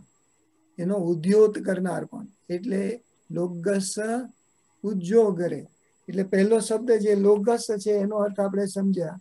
હવે ઉજ્જો અગરે એટલે કે ઉદ્યોત ઉદ્યોત બે પ્રકારનું થાય છે. એટલે હવે બીજો શબ્દ થયો. લોકનું સ્વરૂપ આપણે સમજ્યા. આપણે પંડિતજીની બુક કરી, એમાં પણ આપણે સમજ્યા હતા. એક વસ્તુ યાદ ખાસ રાખવાની કે આપણે જે લોકનું સ્વરૂપ સમજ્યા, એમાં જીવો જે હોય છે, એ ચૌદે રાજલોકમાં એકેન્દ્રિય સૂક્ષ્મ જીવો હોય છે જે નિગોદના જીવો, એ ચૌદે ચૌદ રાજલોકમાં બધે જ હોય છે. પરંતુ જે ત્રસ જીવો છે, એ ત્રસ નાડી વચ્ચેનું જે આપણું જે મધ્યલોકમાં જે આપણા બધા દ્વીપ અને સમુદ્ર વાળું જે છે, જે આપણે જોયું હતું અઢી દ્વીપ પ્રમાણ એવી રીતે જેમ આગળ આગળ વધારે દ્વીપ, વધારે સમુદ્ર એવા અસંખ્ય દ્વીપ અને અસંખ્ય સમુદ્ર છે. એ જ્યાં સુધી એક લોકની વીટ થાય એટલા સુધી પથરાયેલા છે. એમાંથી વચ્ચેની જે ત્રસનાળી છે એટલે કે મધ્ય લોકના એટલે એક એક રજ્જુ જેટલા. અને એમાંથી ઉપરથી છેક નીચે એટલામાં જ ત્રસ જીવો હોય. એટલે એને ત્રસ નાડી કહેવામાં આવે છે. અત્યારે આપણે એ પિક્ચરમાં નહીં જઈએ, આપણે લાસ્ટ ટાઈમ એ બધા સ્કેચીસ ને પિક્ચર્સ જોયેલા. પણ એ ત્રસ જીવો ત્યાં જ હોય છે ને, એમાંથી મનુષ્યો તો ક્યાં હોય? તો કે અઢી લોક, અઢી દ્વીપ રૂપ જે લોક છે, એના પાર્ટમાં જ મનુષ્ય હોય. આપણે મનુષ્યની વાત શું કામ કરીએ છીએ કે અત્યારે આપણે મનુષ્ય છે એ સિવાય જે કોઈ જીવ મોક્ષને પામે છે, નિર્વાણ પામે છે, એ મનુષ્યના ભવમાંથી જ જઈ શકે છે. એટલે શું એનો અર્થ શું થયો કે જે અઢી દ્વીપ છે, ત્યાં જ મનુષ્યો હોય. એટલે જે ઉપર મોક્ષમાં જવા વાળા મુક્તિ પામવા વાળા જીવો હોય છે, એની લિમિટ પણ ત્યાં આ અઢી દ્વીપની નક્કી થઈ જાય છે. આ બધી આપણને સમજ, આ બધું જ્ઞાન આપવા વાળા કોણ છે? તો કે તીર્થંકર ભગવંતો. એટલે લોગસ ઘરે એમ જ્યારે જ્યારે આપણે બોલીએ, ત્યારે આપણે એવું સમજવાનું કે આ લોકનું આપણને સમજ આપવા વાળા ભગવંતો એ આ અરિહંત ભગવંતો છે. એણે આ પ્રકાશ, જ્ઞાનનો પ્રકાશ પાથર્યો તો આપણને એની સમજ પડી. એટલે આપણે આ ગિરીશભાઈના સ્વાધ્યાય કરીએ કે આપણે સાધુ ભગવંતોને ત્યાં ઇન્ડિયા ભક્તિ કરીએ, જે કંઈ કરીએ. અને જો આપણી શ્રદ્ધા વધારે વધારે બળવાન થતી હોય, તો આપણે જ્યારે જ્યારે સામાયિક પ્રતિક્રમણ કે દેવ વંદન કરતા હોય અને ત્યારે લોગસ બોલવામાં આવતું હોય, તો આપણે જ્યારે આપણે આજથી પાંચ, પંદર, વીસ વર્ષ પહેલા જ્યારે લોગસ બોલતા હોય અને મનમાં કઈ ભાવ ઉઠતા હોય કે ન ઉઠતા હોય કે ખ્યાલ આવતો હોય કે ન આવતો હોય, પણ આજે જયારે હવે લોગસ બોલીએ તો આપણને આ કેવડી ભગવંતો પ્રત્યે બહુમાન થવું જોઈએ. કે એમણે આવું ન બતાવ્યું તો આપણે સમજણ કેવી રીતે પડતી હોય એટલે જ્યારે જ્યારે જેમ જેમ આપણી દ્રઢ શ્રદ્ધા દ્રઢ થતી જાય, જેમ જેમ આપણું બહુમાન વધતું જાય, તો એમ એમ જ્યારે જ્યારે આપણે લોકસ ઉજો કરે મતી થઈ રહે. વગેરે બોલતા જઈએ, તો આપણા ભાવમાં પણ કંઈક એવો ફેર પડવો જોઈએ. એ પોઝિટિવિટી આવવી જોઈએ. એ એક મેઝર છે. It's a test self test છે. કે આપણે જ્યારે જ્યારે સામાયિક લઈએ, પ્રતિક્રમણ કરીએ, કે આમ જ લોગસની નૌકારવાળી ગણતા હોઈએ, ત્યારે જો આપણામાં આ શ્રદ્ધા વધારે વધારે થતી હોય, નિર્મળતા આવતી હોય, તો એનો ટેસ્ટ શું? તો કે આપણે જ્યારે આવું લોગસ બોલીએ, જ્યારે જ્યારે બોલતા જઈએ તો એમાં પણ ભાવની વૃદ્ધિ થવી જોઈએ. તો લોગસ ઉદ્યોગ કરે હવે આપણે ઉદ્યોગ કર એનો તો કે ઉદ્યોત બે પ્રકારનો છે. ઉદ્યોત્યતે પ્રકાશ પ્રકાશ્યત નેન ઇતિ ઉદ્યોત. ઉદ્યોત એટલે જેના રૂપ બધો પ્રકાશ પથરાય એ. કે જેના વડે પ્રકાશ કરાય તે ઉદ્યોત. એ ઉદ્યોતના બે પ્રકાર છે. દ્રવ્યો ઉદ્યોત અને ભાવ ઉદ્યોત એ બે પ્રકાર છે. એટલે જેમ ચંદ્ર, સૂર્ય, અગ્નિ, એટલે અગ્નિમાં આપણે આપણી લાઈટ વગેરે પણ લઈ લેવાય. મણી વગેરે દ્રવ્ય ઉદ્યોગ છે. એટલે કે જ્યાં ફિઝિકલી લાઇટ ફેંકે, એને આપણે દ્રવ્ય ઉદ્યોગ કહીએ. અને ભાવ ઉદ્યોગ એ બે ભાવ ઉદ્યોગ એ કયો તો કે જે ઘટ આદિ, એટલે કે જે કોઈ વસ્તુઓ છે દુનિયામાં, એ આદિ વસ્તુઓનો ઉદ્યોગ કરવા છતાં પણ સર્વ ધર્મોનો ઉદ્યોગ કરી શકતા નથી. એટલે આપણે જયારે કોઈ પણ વસ્તુ પર લાઈટ ફેંકીએ તો આપણને બુક દેખાય રૂમ દેખાય, આ દેખાય, તે દેખાય. તો એનાથી ખાલી એ વસ્તુનું જણાવવાનું થાય. પણ એટલે કે જોવા મળે છે. પણ જ્ઞાન તે ભાવ ઉદ્યોગ છે. તો જ્ઞાનથી શું ફાયદો થાય? તો કે જેના વડે યથા અવસ્થિત રીતે વસ્તુ જણાય છે. તે જ્ઞાન છે. અને એ જ્ઞાન છે એને ભાવ ઉદ્યોગ કહેવાય. એટલે હવે આપણે જયારે લોગસ ઉજ્જોગરે એમ ઉજ્જો ગરે એમ બોલીએ, તો આપણે ભગવાનને માટે બોલતા હોય તો એ ભાવ ઉદ્યોત કરનારા છે.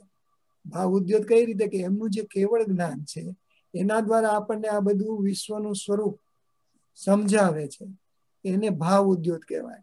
એટલે દ્રવ્ય ઉદ્યોત અને ભાવ ઉદ્યોત એમ બે પ્રકાર થયા તો, જેના વડે યથાવસ્થિત રીતે વસ્તુ જણાય તે જ્ઞાન છે. એ જ્ઞાન એ જ ભાવ ઉદ્યોગ છે. એટલે જયારે લોકગસ કરે એમ કહીએ ત્યારે આપણે તીર્થંકર ભગવંતોને યાદ કરી રહ્યા છીએ. એમની આપણે સ્તવના કરવી છે કે જેણે આવું વિશ્વનું સ્વરૂપ સમજાવ્યું અને ભાવ ઉદ્યોગ કર્યો એટલે કે જ્ઞાન આપણને આપ્યું. અને વળી આ ઉદ્યોગના બીજી રીતે વિચારીએ એટલે બે ભેદો દ્રવ્ય ઉદ્યોગ અને ભાવ ઉદ્યોગ છે. એમાં દ્રવ્ય દ્રવ્ય ઉદ્યોગથી જીનવરો લોકનો ઉદ્યોગ કરનારા નથી હોતા. એ કઈ સૂર્યચંદ્રની જેમ લાઈટ આપે છે એમ તીર્થંકર ભગવાનો એવું લાઈટ ફેંકતા હોય એવું નથી. પરંતુ તીર્થંકર નામ કર્મના ઉદયથી અતુલ સત્વાર્થ પરોપકાર કરવા દ્વારા ભાવ ઉદ્યોગ કરનારા હોય છે. એ આ તીર્થંકર ભગવંતોને માટે આપણે જ્યારે વિચારીએ, ત્યારે જ્યારે ઉજ્જવ ઘરે બોલીએ, ત્યારે ભાવ ઉદ્યોગની વાત થાય છે. હવે ઉદ્યોગકર પણ બે પ્રકારે હોય છે. એટલે કે પોતે જે પ્રકાશ આવો, જ્ઞાન પ્રકાશ ફેલાવનાર જે વ્યક્તિ છે, એ વ્યક્તિને પણ બે રીતે જોઈ શકાય. સ્વ ઉદ્યોગકર અને પર ઉદ્યોગકર. આપણે એક બીજો શબ્દ પણ વાંચીએ. સ્વ પર પ્રકાશક એવો શબ્દ આપણે સાંભળીએ છીએ. એ આ અર્થમાં છે. એટલે કે તીર્થંકર ભગવંતો એ જ્યારે શ્રેણી માંડે અને એમના જેમ જેમ કર્મનો ઘાત થતો જાય, ઘાતીય કર્મનો, અને જ્યારે કેવળ જ્ઞાન પ્રગટ થાય, તો એમને પોતાને સ્વને પોતાના આત્માના સ્વરૂપનો પણ પૂરેપૂરો પછી ખ્યાલ આવી જાય, એમના જ્ઞાનનો વિષય બની જાય. એ સ્વ ઉદ્યોતકર થયા. અને આપણને પણ આત્માનું સ્વરૂપ, આ છ દ્રવ્યોનું સ્વરૂપ, નવ તત્વોનું સ્વરૂપ વગેરે આપણને પણ એ એમના જ્ઞાન દ્વારા આપણને સમજ આપે. તો એ પર ઉદ્યોતકર થયા. એટલે કે આપણને આપણને પણ એ જ્ઞાન આપવા વાળા એટલે જયારે સ્વ લોગસ્વ ઉજો અગરે કહીએ, ઉદ્યોત કરનારા, તો કેવો ઉદ્યોગ કરનારા? તો કે ભાવ ઉદ્યોગ કરનારા. અને ભાવ ઉદ્યોગ પણ કેવો? સ્વ અને પર. બંનેને પણ એ પ્રકાશિત કરવા વાળા એટલે કે જણાવવા વાળા જ્ઞાન દ્વારા જણાવવા વાળા તો શ્રી તીર્થંકર ભગવંતો, બંને પ્રકારે ઉદ્યોત કર છે. પોતાના આત્માને ઉદ્યોદિત કરવા દ્વારા તેઓ સહ ઉદ્યોતકર છે અને લોકમાં પ્રકાશ ફેલાવનાર વચનરૂપી દીપકની અપેક્ષાએ. એ આપણને જ્ઞાન પ્રકાશ આપે છે. કઈ રીતે? વચન દ્વારા, એમની વાણી દ્વારા, એમના ઉપદેશ દ્વારા. એ રીતે એ વચનરૂપી દીપકની અપેક્ષાએ તેઓ બાકીના ભવ્ય વિશેષો માટે ઉદ્યોત કરનારા હોવાથી પર ઉદ્યોત કરે છે. ત્યાં ભવ્ય વિશેષો શબ્દ વાપર્યો એ જ ખ્યાલમાં રહે. અભવ્ય જીવોને આ જ્ઞાનની કાંઈ અસર થતી નથી. એ જ્ઞાન એમને ઉપયોગી નીવડતું નથી. ભવ્ય જીવો છે કે જે આ જ્ઞાન પામીને, આ સમજ પામીને એ પણ ક્યારેક એવું ઊંચું સિદ્ધત્વ પ્રાપ્ત કરવાને લાયક હોય છે. એટલે એમ કીધું કે પોતે પોતાના વચનરૂપી દીપકની અપેક્ષાએ તેઓ બાકીના ભવ્ય વિશેષો માટે ઉદ્યોત કરનારા હોવાથી પર ઉદ્યોગકર છે. કારણ કે આ જે પ્રકાશ પાત્રે છે, એનો ફાયદો કોને થવાનો છે? ભવ્ય જીવોને તો આ રીતે ઉદ્યોગના પૂર્વોક્ત બે ભેદોમાં ભાવ ઉદ્યોગનું સ્થાન અતિ મહત્વનું છે. કારણ કે દ્રવ્ય ઉદ્યોગ તો ઉદ્યોગ પૂતગલ સ્વરૂપ હોવાથી તેમજ તેવા પ્રકારના પરિણામથી યુક્ત હોવાથી પરિમિત ક્ષેત્રમાં પ્રકાશ કરે છે. એટલે અમુક જ્યાં જેટલું એનો ઉપયોગ એની લિમિટ લિમિટ છે. જ્યારે ભાવ ઉદ્યોગ નો ઉદ્યોગ લોક અને અલોકને પ્રકાશિત કરે છે. એનો અર્થ શું કે આપણા જેવા ભવ્ય જીવોને લોક અને અલોકની બધી માહિતી એ આવા કેવડી ભગવંત આવો ઉદ્યોગ કરનારા આપણને આપી શકે છે. એટલે આપણે બે જ શબ્દ બોલ્યા, લોગસ ઉદ્યોગરે તો એમાં તરત જ આપણને સર્વ તીર્થંકર ભગવંતો પ્રત્યે બહુમાન થવું જોઈએ. કે આ આપી આખી વિશ્વની વ્યવસ્થાની સમજ, એમાં આપણું સ્થાન ક્યાં? આપણે કોણ છીએ? આપણે જે જીવ તત્વ આત્મ તત્વ અત્યારે ક્યાં છીએ? પર્યાયથી દ્રવ્યથી. કારણ કે કેવડી ભગવંતો સર્વે દ્રવ્યોની, સર્વે જીવોની, સર્વ પર્યાય.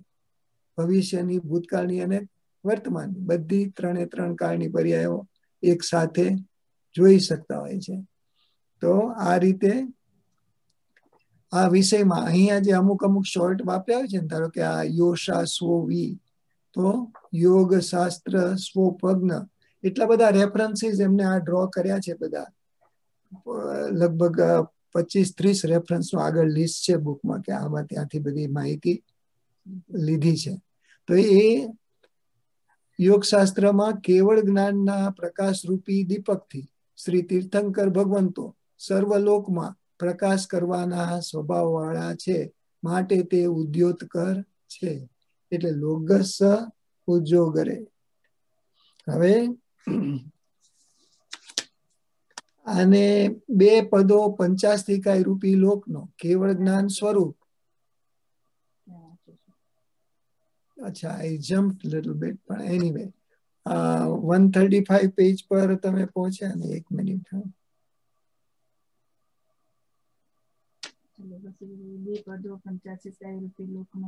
એ થોડુંક જરાય પ્રકાશ કરવો એવો લોકો ઉદ્યોગ કરે છે અચ્છા. આ પ્રમાણે હા. આ પ્રમાણે લોગસ ઉજ્જોગરે એ બે પદો પંચાસ્તિકાય રૂપી. લોકનો કેવળ જ્ઞાન રૂપ સર્વોત્કૃષ્ટ. એટલે કે સારા, એનાથી કઈ વધારે બાકી રહી ન જાય. એવો ભાવ ઉદ્યોત એટલે કે ભાવ દીપક વડે પ્રકાશ કરવાના સ્વભાવ વાળા એ અર્થમાં સિદ્ધ થાય છે. એટલે આ બે શબ્દનો અર્થ આ રીતે કન્ક્લુડ થાય છે. અને એને ભગવાનનો વચનાતિશય પણ કહેવાય. કેવી રીતે કે એ ભગવાને જે આપણને ઉપદેશ આપ્યો, એમની જે વાણી દ્વારા આપણને સમજાવ્યું કે આવું વિશ્વનું, આવું લોકનું સ્વરૂપ છે, એમાં તમારું જીવ તરીકેનું આ સ્થાન છે, તો એને વચનાતિશય કહેવાય. કારણ કે તીર્થંકર નામ કર્મ ઉદયમાં આવે અને એમને કેવળ જ્ઞાન થાય. જો સામાન્ય કેવળી તો ઘણા હોય છે, પણ જે તીર્થંકર ભગવાન તો એમને જે કેવળ જ્ઞાન થાય, એ કેવળ જ્ઞાન દ્વારા ગણધરોને એ ઉપને એવા, વિગમ એવા, ધુવે એવા કહીને જે ત્રિપદી આપે, એમાંથી દ્વાદશાંગીની રચના થાય, બધા શાસ્ત્રોની રચના થાય. એટલે એમ કે છે કે તીર્થંકર ભગવાનનો વચનાતિશય છે.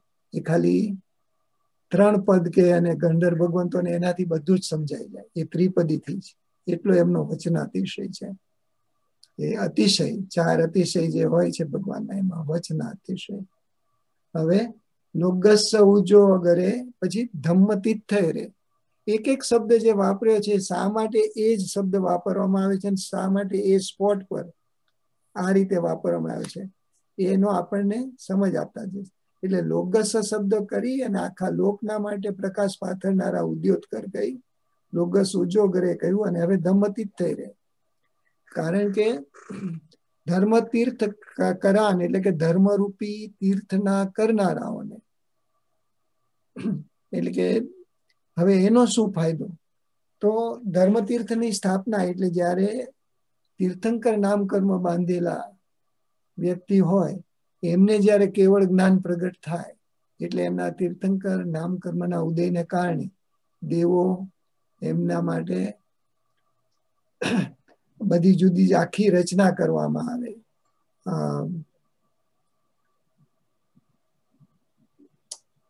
શું કહીએ આપણે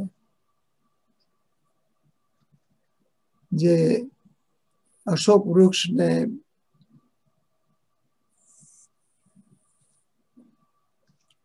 સંવત્સરણની સંવત્સરણની રચના જે કરવામાં આવે એ સંવત્સરણમાં સૌ પહેલા ગણધર ભગવંતો જયારે ભગવાન પાસે આવે કિમ તત્તમ એમ કહીને એક પ્રદક્ષિણા દે અને પછી ઉપનેયવા કે પછી બીજું પ્રદક્ષિણા કરીને કિમ તત્વમ એમ કે એટલે વિગમેવા ત્રીજી પ્રદક્ષિણા કરીને કિમ તત્વમ કે એટલે કે ધુબેવા એવી રીતે સંવત્સરણની રચના થઈ છે. ગંધર ભગવંત કિમ તત્વમ પૂછે છે અને ઉપનેવા વિગમેવા ધુબેવા એવી ત્રિપદી આપવામાં આવે છે. અને એ ત્રિપદી દ્વારા પોતાના જ એ ગંધર ભગવંતોની પોતાની જ એવી શક્તિ હોય છે. કે તેઓ એમાંથી અંતર્મુહૂર્તમાં દ્વાદશાંગીની રચના કરે. તો એ પ્રમાણે પછી ગણધર ભગવંતો હોય, સાધ્વીજી બને, સાધુ, સાધ્વી અને જે લોકો સાધુ, સાધ્વી ન બની શકે પણ ભગવાનનો ધર્મ સ્વીકારતા હોય તો એ શ્રાવક અને શ્રાવિકા બને. તો આમ ચતુર્વિધ સંઘની સ્થાપના થાય અને આખા તીર્થની સ્થાપના થાય. એટલે કે એના તીર્થંકર કહેવાય. ધર્મરૂપી તીર્થની સ્થાપના થઈ. હવે એ ધર્મનું અનુશાસન એટલે કે એની પરંપરા ચાલશે.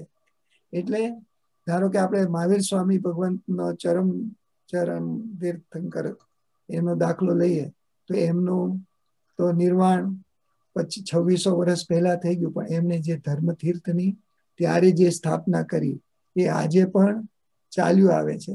એની પરંપરા કેટલી બધી ચાલશે? આ પાંચમા આરાના એન્ડ સુધી. અને એમાંથી જીવો સમ્યક્વ પામશે, મોક્ષના માર્ગમાં આગળ વધ્યા કરશે. તો એ ધર્મ તીર્થના કરનારા, એટલે લોગસ ઉજોગરે તો જ્યારે પોતાને કેવળ જ્ઞાન થયું અને ધર્મ દેશના આપી, ત્યારે ત્યારે જે જીવોને ફાયદો થવાનો હતો, જે લોકોને, જેનું ભવિતવ્યને, ભવિતવ્યતા પાકી હતી, એ લોકોને પામી ગયું. પણ પછીના જીવો માટે આવા ધર્મ તીર્થની જે સ્થાપના થઈ, તો એનાથી સબસિક્વન્ટલી ક્યાંય સુધી એનો ફાયદો, એનો બેનિફિટ ચાલ્યા કરવાનો. એટલે ધમ્મતીત થઈ રહે. ધર્મરૂપી તીર્થના કરનારાઓને. અને એની વ્યાખ્યા આપી છે, ધર્મ તીર્થ એટલે શું? તો કે દુર્ગતિ પ્રસૂતા જીવાન યસ્મા દ્વાર્યતે તત. ધત્યે ચૈત્યાન શુભે સ્થાને, તસ્સાદ ધર્મ ઇતિ સ્મૃત. એટલે કે આપણા જેવા જીવોને ફાયદો શું થયો કે દુર્ગતિમાં પડતા જીવોને રોકીને એમને શુભ સ્થાનમાં સ્થાપિત કરે તેને ધર્મ કહેવાય. આ ધર્મની ડેફિનેશન દુર્ગતિમાં પડતા જીવોને રોકીને એમને શુભ સ્થાનમાં સ્થાપિત કરે તે ધર્મ કહેવાય. અને આવા ધર્મરૂપી તીર્થની સ્થાપના આ તીર્થંકર ભગવાન તો કરે. હવે કે છે ધર્મ બે પ્રકારનો છે. દ્રવ્ય ધર્મ અને ભાવ ધર્મ. અહીંયા જે આપણે વાત કરી રહ્યા છીએ, ભાવ ધર્મની. આવશ્યક નિર્યુક્તિ તથા દેવવંદન ભાષ્યમાં કહેવામાં આવ્યું છે કે ભાવ ધર્મ શ્રુતરૂપ અને ચારિત્ર રૂપ છે. એ શ્રુત જ્ઞાન દ્વારા જે ધર્મની પ્રરૂપણા થાય, એ ભાવ ધર્મ શ્રુતરૂપ અને ચારિત્ર રૂપ છે. અને એવો ધમ્મ તીર્થરે ધર્મની પહેલા ડેફિનેશન કરી, હવે તીર્થ કહે છે કે ધમ્મ તીર્થરે આપણે એમ કહ્યું ને, કે ધર્મ તીર્થના સ્થાપનારા. તો ધર્મ શું એની ડેફિનેશન કરી. હવે તીર્થ શું એ સમજાવશે. કે તીર્થ શબ્દની વ્યુત્પત્તિ તીર્થ યતે ને ઇથ તીર્થમ એટલે કે જેના વડે તરાય તે તીર્થ. આપણે સંસાર સાગરમાંથી તરવવા વાળા. એટલે એમ કે છે, આ પ્રમાણે કરવામાં આવે છે. આવશ્યક નિર્યુક્તિમાં કહેવાયું છે કે તીર્થના અનેક પ્રકારો છે. નામ તીર્થ, સ્થાપના તીર્થ, દ્રવ્ય તીર્થ, ભાવ તીર્થ વગેરે. અહીં આ ચાર પ્રકારના તીર્થોમાંથી કયું તીર્થ લેવું? કારણ કે આપણે તો તીર્થ ઉદ્યોગરે ધમ્મ તીર્થ રે કહી દીધું તો ધર્મ તીર્થ માટે કયું તીર્થ લેવાનું આમાંથી એમ? એવી સહેજે શંકા થાય. પણ ધર્મ તીર્થ શબ્દ હોવાથી માત્ર ભાવ તીર્થ જ સ્વીકાર્ય બને છે. આમ દ્રવ્ય તીર્થ અને ભાવ તીર્થની વ્યાખ્યા દેવ, દેવવંદન ભાષ્યમાં નીચે મુજબ આપવામાં આવી છે. એટલે કે અમુક વસ્તુ આપણને સંસારમાં ઉપયોગી થાય એટલે આપણને તાયરા હોય એવું લાગે, પણ ભાવ તીર્થનું એક જુદી વસ્તુ છે. એટલે એમ કે છે, કુપ્રવચનો અથવા તો જે ઇતર દર્શનો છે, એમાં નદી, આદિ તરવા માટેના સ્થાનો હોય તો એને દ્રવ્ય તીર્થ કહેવાય, કારણ કે આપણને નદી પાર કરવામાં, આપણને ઓળંગવામાં મદદરૂપ રહે. અને કારણ કે ત્યાં લોકો ડૂબે છે અને એકવાર તર્યા પાછી ફરી તરવાનું બાકી રહે છે. કારણ કે જે દ્રવ્ય તીર્થ છે, એમાં એનું પૂર્ણ વિરામ નથી આવતું. એ બધું ટોટલ એકોમ્પ્લિશમેન્ટ થાય ને પૂરું પડે એવું નથી બનતું. એટલે કે એ દ્રવ્ય તીર્થ જે હોય અથવા જે આપણને નદી ક્રોસ કરવામાં કે પાણીનું વોટર બોડી હોય એને ક્રોસ કરવામાં હેલ્પફુલ થાય. તો એમાં કદાચ એ જે વ્યવસ્થા એમાં કોઈ ડૂબીએ જાય, એવું એ બને. અને એકવાર તર્યા પછી ફરી વાર આવું જવું ન પડે, એવું ન જ બને, એવું એ ન બને. જ્યારે ભાવ તીર્થ કેવું છે, તો કે આ સંઘ જે ચતુર્વિધ સંઘ બન્યો ને, એ આદિ ભાવ તીર્થ છે. કારણ કે તેનો આશ્રય કરનારા ભવ્ય જીવો ભવ્યો ભવસાગરને નિયમા તરી જાય છે. અને ભવસાગર ફરી તરવાનો બાકી રહેતો નથી. આ શબ્દ, આ વસ્તુ છે ને વારંવાર સ્ટેટ કરવામાં આવશે. કે ભવસાગરને તરી જાય છે, અથવા તો સિદ્ધિ પ્રાપ્ત કરે છે. જે ભગવંતો, સિદ્ધ ભગવંતો થાય છે, એ ક્યારે ભવસાગર ફરી તરવાનો બાકી રહેતો નથી, અથવા તો એ પાછા આવતા નથી, અથવા તો સર્વ કર્મથી મુક્ત બન્યા પછી સિદ્ધ ભગવંતોને નવા કર્મ ચોંટતા નથી. એટલે અહીંયા એ ખાસ ક્લેરિફાય કરવા માંગે છે. કે અહીંયા એવા તીર્થંકરની વાત કરવામાં આવી રહી છે ધર્મ તીર્થની વાત કરવામાં આવી રહી છે, કે જે સંસાર સાગરને તરવામાં મદદરૂપ તો થાય છે, પણ એ એકવાર સંસાર સાગર તરી ગયેલા ને પછી ક્યારેય ડૂબવાનો વારો નથી આવતો કે ફરીથી તરવાનો પણ એવો કોઈ પ્રયોગ કરવાની જરૂર રહેતી નથી. એ કાયમ માટે પરમેનન્ટલી તરી ગયા છે કે પાર પડી ગયું છે એવું તીર્થ એવું ધર્મ તીર્થ કરવા વાળા ધમ્મ તીર્થ યરે યરે એટલે યર કરનારા. એટલે કે આવું તીર્થ કરવાનો જેનો સ્વભાવ છે એવા. તો હવે આપણે ક્યાં સુધી પહોંચ્યા? લોગસ ઉદ્યોગરે ધમ્મ તીર્થ યરે એટલે આપણને લોકની આઈડિયા આપ્યું કે લોક કેવું છે? લોકમાં કેવા તમે ક્યાં છો? અને એમાં જ્ઞાનરૂપી, કેવળ જ્ઞાનરૂપી પ્રકાશ પાથરીને આપણને બધું સમજાવ્યું. સ્વ ઉદ્યોતકર અને પર ઉદ્યોતકર. અને સાથે સાથે ધર્મતીર્થની સ્થાપના કરી. એ ધર્મતીર્થ આજે પણ આપણને ઉપકારી બની રહ્યું છે. તો યર એટલે કરનારા, એટલે કે કરવાનો સ્વભાવ છે જેમનો એવો. તો ધર્મ એવ તીર્થમ ધર્મ પ્રધાનમ વા તીર્થ ધર્મ તીર્થમ તત્કરણ શિલાન ધર્મ તીર્થ કરાન. એટલે અર્થ શું કે ધર્મ એ જ તીર્થ કે ધર્મ પ્રધાન હોય એવું તીર્થ તે ધર્મ તીર્થ એટલે ધમ્મ તીર્થ રે કહીએ ત્યારે એ જે તે તીર્થની વાત નથી, પણ ધર્મરૂપી તીર્થ જ્યાં ધર્મની પ્રધાનતા છે મેઇન છે, એવું. તો તેનો કરવાનો સ્વભાવ છે, એટલે કે આવા તીર્થને બનાવવાનો જે એબિલિટી છે, જેનો સ્વભાવ છે, એ ધર્મ તીર્થંકર તો આપણને હવે તેવા ધર્મ તીર્થંકરો આ પદમાં આવે. એટલે લોગસ ઉજ્જોગરે ધમ્મ તીર્થ રે તો હવે વિશિષ્ટ અર્થ એટલે કે યોગશાસ્ત્ર સ્વપજ્ઞ વિજ્ઞપ્તિમાં જણાવવામાં આવે છે કે દેવો, મનુષ્યો અને અસુરો એટલે કે દાનવો સહિતની પરસદામાં સર્વ પોતપોતાની ભાષામાં પરિણામ પામનારી વાણી દ્વારા ધર્મ તીર્થનું પ્રવર્તન કરનારાઓને.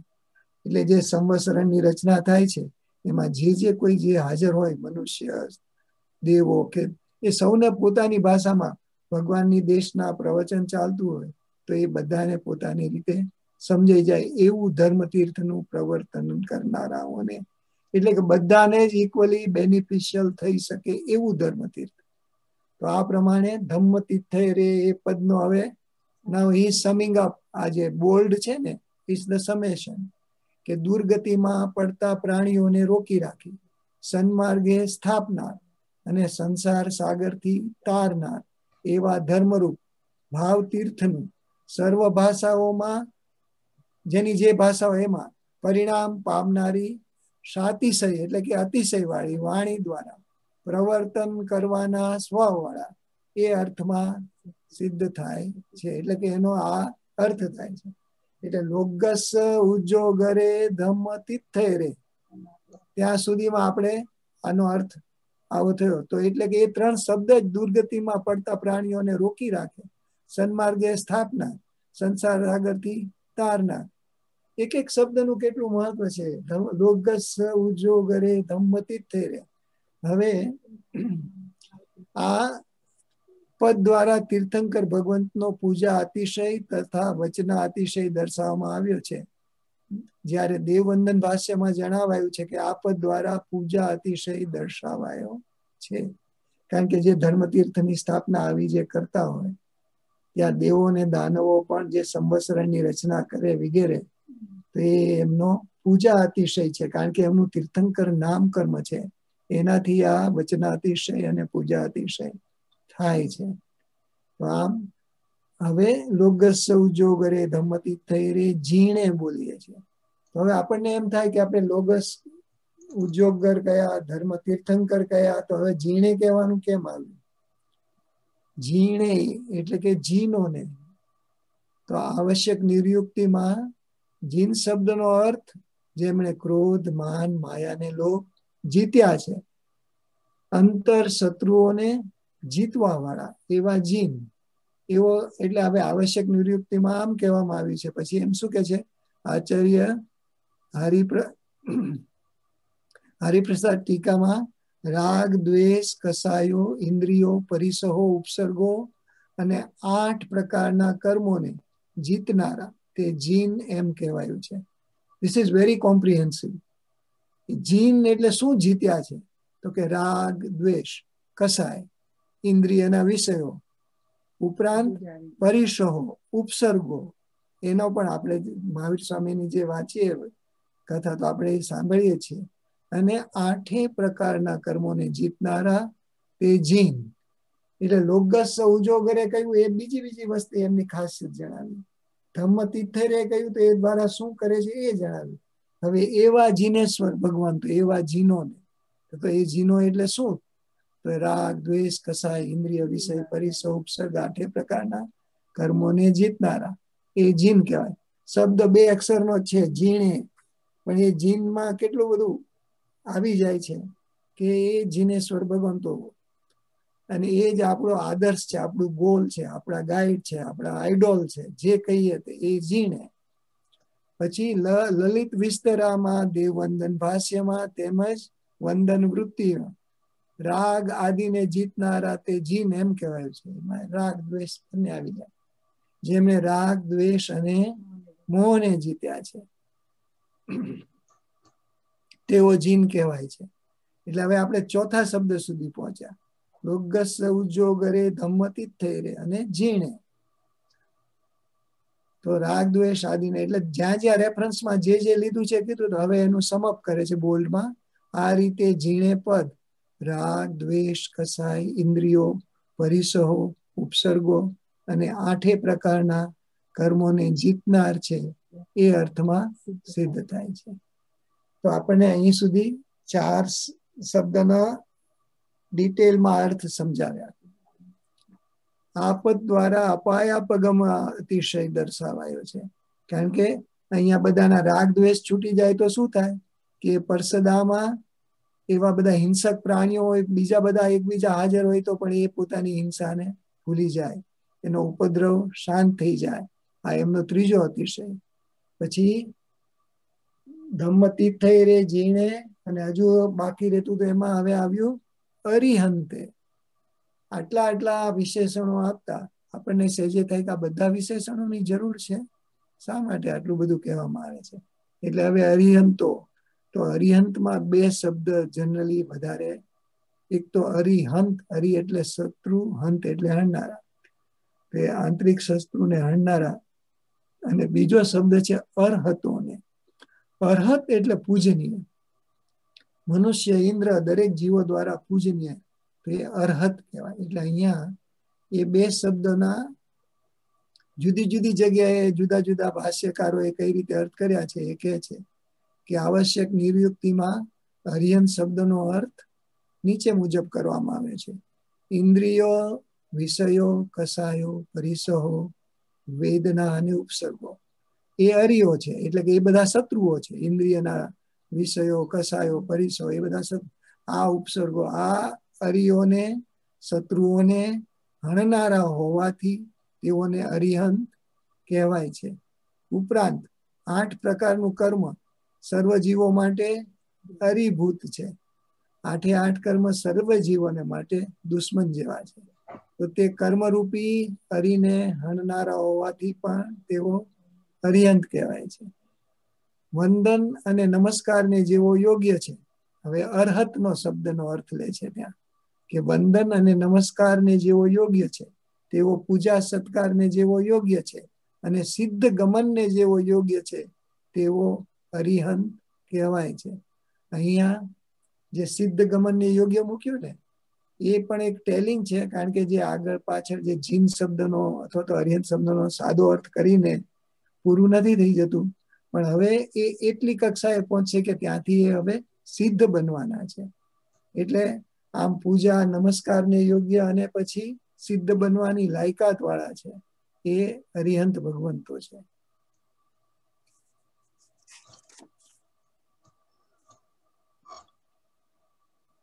કિત્ત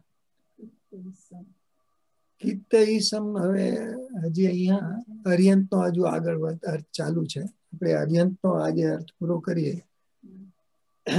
ચૈત્યવંદન મહાભાષ્યમાં કહેવાયું છે. ના, એના ઉપર. હરિદ્ર, હરિભદ્રીય ટીકા. નહીં નહીં. રોલ બેક લિટલ બિટ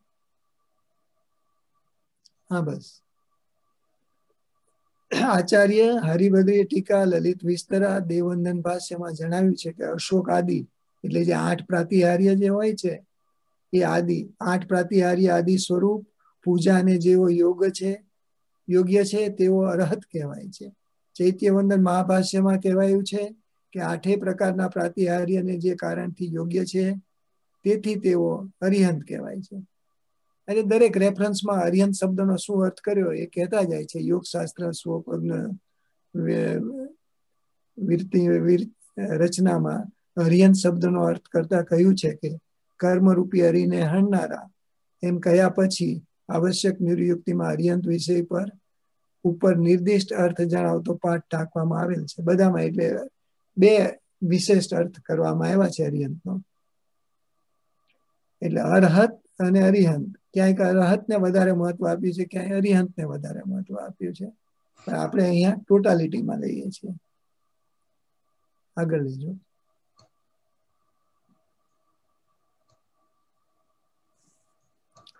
અહીં એક વાત ટાંકવી જરૂરી છે. ધર્મ સંગ્રહ ગ્રંથમાં અરિહંતે પાઠને અરહંતે પાઠ જણાવે છે. એટલે ક્યાંક અરહંતે બોલે કે ક્યાંય અરિહંતે બોલે.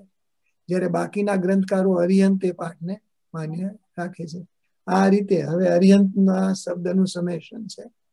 અરિહંતે પદ, વંદન નમસ્કારને, પૂજા સત્કારને તથા સિદ્ધ ગમનને જે યોગ્ય છે તેવા તેમજ આઠે કર્મ, ઇન્દ્રિય વિષયો કસાયો આદિ હરિઓને હણનારા એ અર્થ એનો સિદ્ધ થાય છે કે અરિયંતનો અર્થ આ પ્રમાણે થાય છે. તો આપણે લોગસ ઉજોગરે ધમ્મ તિથેરે જીણે અરિહંતે. એ પાંચે પાંચ વિશેષણનો આપણે પહેલી ગાથાના અર્થો કર્યા. અને પછી આપણે કહીએ છીએ કે એવા ભગવંતોને, એવા તીર્થંકર ભગવંતોને, એવા દિનેશ્વરોને કિત્ત ઈસમ હું એનું કીર્તન કરીશ, નામ ઉચ્ચારણ પૂર્વક એમને હું સ્તવીશ, એમની સ્તવના કરીશ. એટલે કિત્ત ઈસમ કિત્ત ઈસમ આપણે આગળ કરીએ, થઈ જશે. આપણો સમય છે હજુ. કિત્ત ઈસમ એટલે કીર્તન કરીશ. એટલે કે એ સર્વે ભગવંતોના, ચોવીસે ભગવંતોના નામો ઉચ્ચારણ પૂર્વક નામ નિક્ષેપાથી હું એમની સ્તવના કરીશ. અહીં જે કીર્તન કરવાનું છે તે નામથી અને ગુણોથી કીર્તન કરવાનું છે. કીર્તન કરવાનું કારણ દેવતા, મનુષ્ય અને અસુરો સહિત સમગ્ર લોક માટે કીર્તનીય. એવા તે ભગવંતોને દર્શન, જ્ઞાન, ચારિત્ર તથા તપ રૂપ વિનય દર્શાવ્યો છે. તેમના આ ગુણોને ખ્યાલમાં રાખીને અહીંનું તેમનું કીર્તન કરવામાં આવેલ છે. એટલે આપણે નામ અને ગુણોથી બે રીતે એનું કીર્તન કરીએ છીએ અથવા તો સ્તવના કરીએ છીએ. એનો આપણને કેટલો અવશ્ય ફાયદો થાય. આપણે જે આગળ જે અર્થ જોયા કે લોકમાં ઉજાગર કરનારા ધર્મતીર્થની સ્થાપના કરવા વાળા જીનેશ્વરો, અરહંતો, તો એનું આપણે આ રીતે ભાવપૂર્વક વંદન કરીએ, કીર્તિ ગાઈએ, સ્તવના કરીએ, તો એનો આપણો કર્મક્ષય જરૂર થાય. આપણને ધ્યાનની દશામાં પહોંચાડી શકે એવું આ જોરદાર તત્વ છે. ચિત્ત સમરૂપ કીર્તિ ધાતુનું ભવિષ્યકાળના પ્રથમ પુરુષ એક વચનનું છે, એટલે કે એવા જ ભગવંતને હિતૈષમ પદનો સામાન્ય અર્થ હું કીર્તન કરીશ, એટલે કે કીર્તન કરીશ, એમને સ્તવના કરીશ, એટલો થાય છે. પરંતુ તેનો વિશિષ્ટ અર્થ પોતપોતાના નામથી યા તો નામોના ઉચ્ચારણ પૂર્વક હું સ્તવના કરીશ. એટલે હવે શું કહે છે ભક્ત કે હું એક એક ના નામ લઈ લઈને એમની સ્તવના કરીશ. એટલે પછી આના પછીની જ્યારે ગાથા શરૂ થશે, ત્યારે ઋષભ મજીયમ ચ વંદે સંભવમ અભિણમ ચ સુમેયમ ચ એમ એક એક એક એક એક એક નામ લઈને. કારણ કે બીજી વાત એ એ પણ છે કે આપણે જે કઈ તીર્થંકર ભગવંતો બને અને એ જયારે સિદ્ધ બને, અથવા તો તીર્થંકર ભગવાન થાય ને જયારે કેવળ જ્ઞાની થાય, તો બધાનું કેવળ જ્ઞાન ટોટલ હોવાથી એક સરખું છે. એવી જ રીતે જયારે સિદ્ધ બની જાય ત્યારે સિદ્ધ રૂપે પણ બધા સરખા છે. એટલે આમ વિચારીએ તો ચોવીસે ચોવીસ ભગવાનમાં ક્યાંય કોઈ બીજો ફરક નથી. જ્ઞાનની દ્રષ્ટિએ કે એમના સિદ્ધત્વની દ્રષ્ટિએ, ગુણની દ્રષ્ટિએ બધા સરખા છે. એટલે અહીંયા આપણે ચોવીસે ચોવીસ ભગવાનની સ્તવના કરીએ છીએ. ચતુર્વિસંતિ સ્તવ, એવું નામ પણ આપણે આપીએ છીએ. હવે કિત્તઈસમની થોડીક વધારે વિચારણા નામથી આ રીતે કીર્તન કરીશ, એ વધારે આગળ જણાવે છે કે કિત્તઈસમ રૂપ અંગે વિચારણા કરીએ તો સંસ્કૃત ભાષાના કીર્તિયસ્ય રૂપને પ્રાકૃતમાં ઢાળવામાં આવતા કીર્તિય એટલા અંશનું પ્રાકૃત. એ પ્રાકૃતમાં એ કિત્તયસમ થઈ ગયું. કીર્તયસમમાંથી એ વ્યાકરણના વર્ણ વિકારોના નિયમ પ્રમાણે કિત્તય થાય છે. અને શે પ્રથમ પુરુષના એક વચનનો સૂચક છે. એટલે કે એક એક ભગવાનને યાદ કરી કરીને હું એમનું કીર્તિગાન ગાઈશ. એમની સ્તવના કરીશ. એ રીતે એમને વ્યાકરણથી સમજાવ્યું છે કે કિત્તઈસમ શબ્દ એક એકને લગાડવામાં આવશે આ રીતે પ્રાકૃત વ્યાકરણના નિયમ અનુસાર જ કિત્તઈસમ રૂપ સાધી શકાય છે અને વિકલ્પ પક્ષે કિત્તીય હિમી પ્રયોગ થાય છે. ઉપરયુક્ત બંને પ્રયોગ આચાર્ય હેમચંદ્ર સુરીશ્વરે પ્રાકૃત વ્યાકરણના સૂત્રમાં નોંધેલ છે. એટલે વ્યાકરણ સમજાવ્યું છે કીર્તિસમ દ્વારા શું કહેવામાં આવે છે? પણ એને સમપ કર્યું છે પછી કે કીર્તઈ સંપદ નામોચ્ચારણ પૂર્વક સ્તવીસ એ અર્થમાં સિદ્ધ થાય છે. તો હવે કોને, કોના નામ લઈને આપણે ઉચ્ચારણ કરશું? ચૌવીસમ ચતુર્વિશ તેમ કહીએ છીએ ને ચોવીસ ને આપણે જયારે પંડિતજીનું વિવેચન વાંચતા ત્યારે ચોવીસ તીર્થંકરની વાત કરી, તો આપણે કયા ચોવીસની વાત કરતા હતા? તો આપણે આપણા ભરત ક્ષેત્રમાં. આપણે કયા ભરત ક્ષેત્રમાં છીએ? તો કે જંબુ દ્વીપના જંબુ દ્વીપના દક્ષિણ ભાગમાં આપણે આ ભરત ક્ષેત્ર આવેલું છે. એ ચોવીસ ભગવંતોની, એટલે વર્તમાન ચોવીસીના ભગવંતોની આપણે અત્યારે અહીંયા નામોચ્ચરાણ પૂર્વક કીર્તિગાન અથવા તો સ્તવના કરશું. એટલે ચૌવીસમ. અને પછી અહીંયા કિત્તેસમ ચૌવીસમ, પી કેવલી એમ આવે છે. એટલે એનું હજી એ પી શબ્દ બાકી છે, પણ અહીંયા ચૌવીસમ સુધીનો અર્થ દીધો એટલે કે ચોવીસ ને ચોવીસ ને એટલે કે ચોવીસ અરહતો ને ચોવીસે ચોવીસ અરિયમ પૂર્વ આટલું ગયા પછી મનમાં સેજે થાય કે કયા ચોવીસ અરહત લેવા?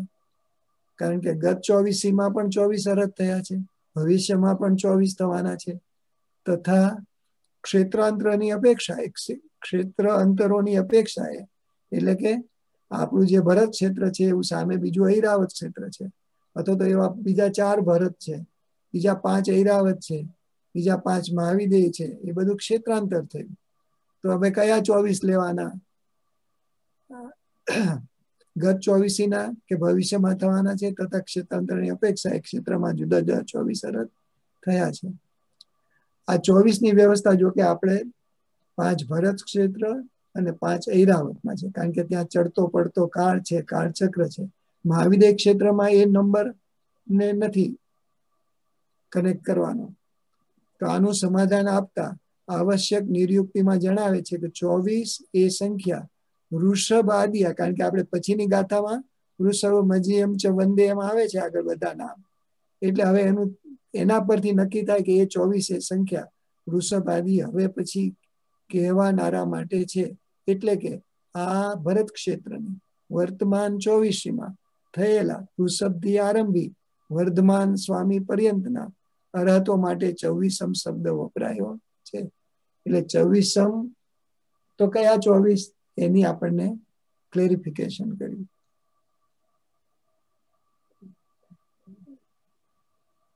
આપણે આ ચોવીસનું પૂરું કરી દઈએ પછી. ચૈત્ય વંદન મહાભાષ્યમાં પણ એ જ કહેવામાં આવ્યું છે કે આ ચોવીસ તીર્થંકર માટે કહેવામાં આવ્યું છે. દેવવંદન ભાષ્યમાં પણ એમ જ જણાવવામાં આવે છે. કે ચોવીસથી ભરત ક્ષેત્રમાં ઉત્પન્ન થયેલા રથો લેવા. આ પ્રમાણે ચોવીસમ ભરત ક્ષેત્રમાં ઉત્પન્ન થયેલા વર્તમાન ચોવીસના અરંતોને અર્થમાં સિદ્ધ થાય છે. હવે આ પી એટલે કે ચોવીસમ પી આપણે બોલીએ છીએ. તો ચોવીસમ પી પી ઇઝ અપી એનું હવે ડિસ્ક્રિપ્શન આપણે નેક્સ્ટ ટાઈમ લેશું એનો અર્થ પણ થોડો વિસ્તૃત થાય છે. તો અત્યારે આપણે અહીંયા વિરામ કરશું. તો લોગસ ઉજો ગરે ધમ્મ તીર્થઈ રે જીણે અરિહંતે ચૌવીસમ. ત્યાં સુધી આપણે પહોંચ્યા.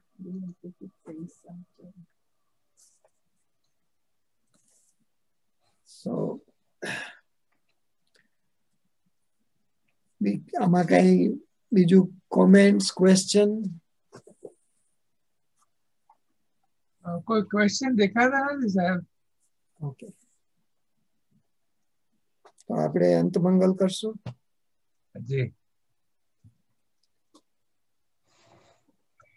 સર્વમંગલ માંગલ્યમ સર્વ કલ્યાણ કારણમ પ્રધાનમ સર્વધર્માણમ જૈનમ જયતી શાસનમ સદગુરુ દેવ કી જય મહાવીર સ્વામી ભગવાન કી જય જેના આજ્ઞા વિરુદ્ધ આગમ વિરુદ્ધ કઈ પણ બોલાઈ ગયું હોય તો મિચ્છામી દુકડમ જેણે શ્રુત સામાયિક લીધી હોય ત્રણ નવકાર ગણી લેજો શ્રુત સામાયિક હોય ત્રણ નવકાર ગણજો please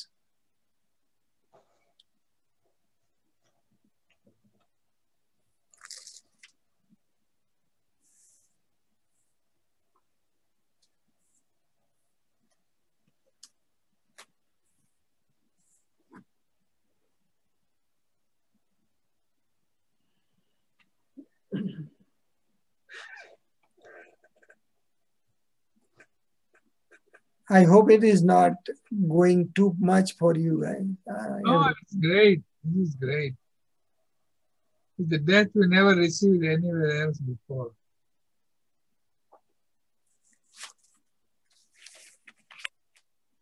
Mahesh Bhai? Sure. Mahendra Bhai? Mahendra Bhai Shah? Oh, let me take the. Jai Jinendra. Jai Jinendra, Mahendra Bhai. Pranam.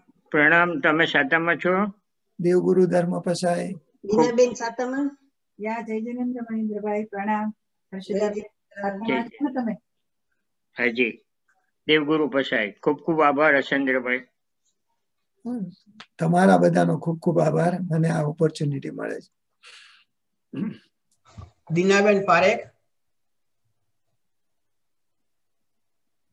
જય જિનેન્દ્ર હસેન્દ્રભાઈ જય જિનેન્દ્ર બીનાબેન ખૂબ ખૂબ અનુમોદના ખૂબ ખૂબ અનુમોદના તમારી ખરેખર બહુ જ સરસ રીતે ડિટેલમાં તમે સમજાવો છો બહુ જ સરસ અને મિચ્છામી દુકડમ. મિચ્છામી દુકડમ. અનુમોદના તો આપણે આ બધા જે કર્યા છે ઉપદાન એમની કરે એમની એમની તો એ તમે આજે જે ઇન્ટ્રોડ્યુસ બધાને કર્યા અને એમના એ લોકોએ જે પોતાના અનુભવો કીધા that was really good good. Inspiration મળે એનાથી. Thank you very much thank you welcome Yogeshbhai Saurabhben? જય જીનેન્દ્ર સૌરભબેન યોગેશભાઈ જય જિનેન્દ્ર. અનુમોદના યોગેશભાઈ દીનાબેન જય જીનેન્દ્ર. અનુમોદના અનુમોદના રહેજો. હાજી તમે બધા સાતામ રહેજો. જય જીનેન્દ્ર. મહેશભાઈ મિતાબેન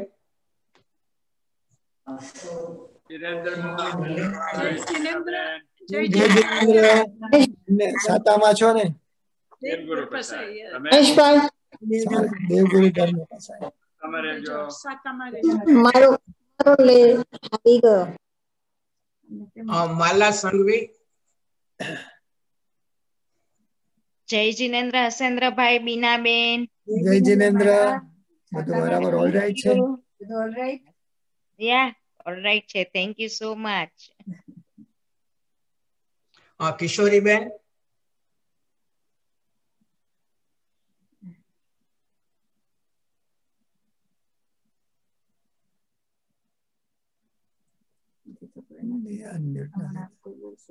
Jyotiben લઈ લ્યો Chicago Jyotiben Jyotiben Shah from Chicago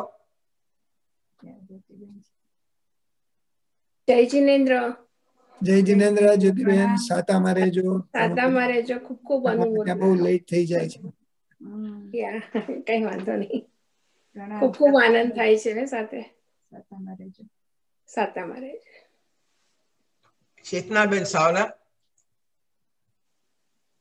પ્રણામ પ્રણામ જય જીનેન્દ્ર પ્રણામ. ને તમારી પણ તમે પણ બધું બહુ જ આજે સચ્ચે બહુ જ એટલું આમ અર્ક જ હતું બધું પૂરું એમાંથી.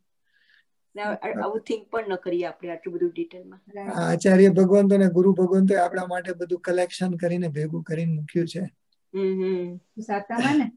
હા દેવગુરુ ધર્મ પ્રસાર સારું છે. સત્તામાં રહેજો. ઈલાબેન દેસાઈ. જય જીનેન્દ્ર હસેન્દ્રભાઈ વિનાબેન જય જીનેન્દ્ર. પ્રણામ કરું છું. પ્રણામ આપ સાતામાં છો? સાતામાં રહેજો. હા દેવગુરુ પસાય સાતામાં છો આ દેવગુરુ ધર્મ પસાય ખૂબ ખૂબ આભાર ખૂબ ખૂબ આભાર. અને અનુમોદના. થેન્ક યુ બધાની અનુમોદના આ લોકોની કરવાની છે.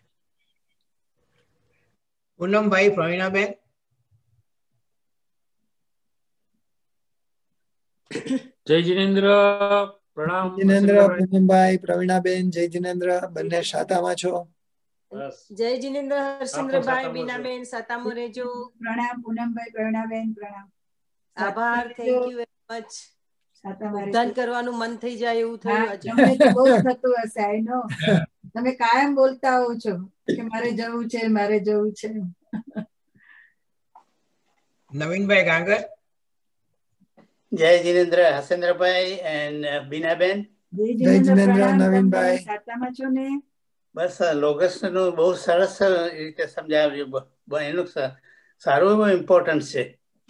It's very very very nice કેટલી વાર બોલીએ છીએ આપણે. Good good good Sheetalben. પ્રણામ હસેન્દ્રભાઈ બીનાબેન. પ્રણામ જય જીનેન્દ્ર. જય Jinendra. Thank you was very nice મજા આવી ઘણી મજા આવી. સાતામાં છો ને આપ? સાત બેદેવ ગુરુ પ્રસાદ હર્ષાબેન હર્ષાબેન ખોજા. જય જિનેન્દ્ર હસેન્દ્રભાઈ પ્રણામ. હર્ષાબેન સાતામાં. પ્રણામ. એકદમ તમે બી મજામાં છો ને સાતામાં છો ને? ખૂબ ખૂબ સારી રીતે સમજાવો છો. અમને બધાને સમજાવવા માટે ખૂબ મહેનત કરો છો મને પોતાને સમજવા માટે કરવું જ પડે છે એટલે ના મારો ના ઉધાર થાય છે. ખરેખર ખૂબ મહેનતથી ખૂબ ખૂબ લઈ લો છો બધું અને સારું સમજાય છે. મારા જેવીને તો ઘણું જ્ઞાન થાય છે આનાથી. આપણે બધા ઉગાડ થાય છે. પ્રણામ. તબિયત સાચવજો તમારે દ્રવ્ય અને ભાવનું ક્લેરિફિકેશન થઈ ગયું? તમે એક વચ્ચે ના મારે થોડુંક જાણવું છે. હું ફોન કરું તમને ફોન કરજો. ગમે ત્યારે. ભલે ભલે. આજનું આખું ડિસ્ક્રિપ્શન જ ભાવ વિશે હતું. હા. જો વિચાર કરો તો આમાં આખે ભાવનો જ મહત્વ બતાવ્યું હા મહત્વ તો બરાબર છે ભાવનું જ છે. પણ આપણે જે બેઝિક ભાવનું જે જાણવું છે ને. કરજો પણ મારે ખાલી એટલું કેવું હતું કે હા હા શ્યોર અને સમજાવ્યું આખું ભાવ પર હતું. હા હા હા definitely definitely thank you Dipikaben? જય જિનેન્દ્ર જય પ્રણામ જીનેન્દ્ર દીપિકાબેન. પ્રણામ પ્રણામ. હસેન્દ્રભાઈ બીનાબેન. જીનેન્દ્ર પ્રણામ. તને સાતામાં છે ને તું? બસ એકદમ સાતામાં છું. આજે બહુ સરસ તમારું તમે લોગસનું બહુ સરસ સમજાવ્યું. Hasendrabhai thank you so much it was very nice very nice અને આઈ જે બધું બોલીએ છે પણ તેમાં એટલો બધો ભાવ તમે મૂક્યો છે ને that it will be really helpful અને બધાએ- આજે ઘણા વખતે આવી તમારા ક્લાસમાં પણ મને જસ્ટ આજે એકદમ જ જસ્ટ થઈ પણ ગયું અને આવી પણ ગઈ અને તમારો આટલું સરસ સાંભળવા મને મળ્યું. ખૂબ ખૂબ તમારો આભાર કરું છું. હા ને બધાની અનુમોદના સાંભળે. બીના હવે અમને મન થઈ જશે ઉદ્ધાન કરવા જવું જોશે. પાત્રતા લાવવી પડશે પહેલા. લઈ જજે બીના તું સાંતાક્રોઝ લઈ જજે. ના સાથે જઈશું બધા. આપણે સાથે જઈશું ચોક્કસ સાથે જઈશું. પણ બહુ સરસ તમે સમજાવ્યું. પ્રવીણાબેન બી કયા જ કરે કેટલા વખતથી બધા સાથે જઈએ સાથે જઈએ. આ લોકો તો જઈ આવ્યા આપણે રહી ગયા. આ લોકો રેખાબેન ને બધા જઈ જાય ને આપણે આપણે સાથે રસેન્દ્રભાઈ તમને આટલા બધા આપણે બધા ભાવ બધા આપ્યા છે ને તો એનાથી ભાવ આવી જશે. મારું તો હું તો એમાંથી છટકી ગયો છું કઈ કર્યું નથી ને. એને તો બહુ જેવું થાય. ગુરુદેવે તો દીક્ષા લીધી ને. ભાઈએ દીક્ષા લીધી ને એટલે કે આપણે તો ક્યાંય ના ન રહ્યા એવું જ થઈ જાય.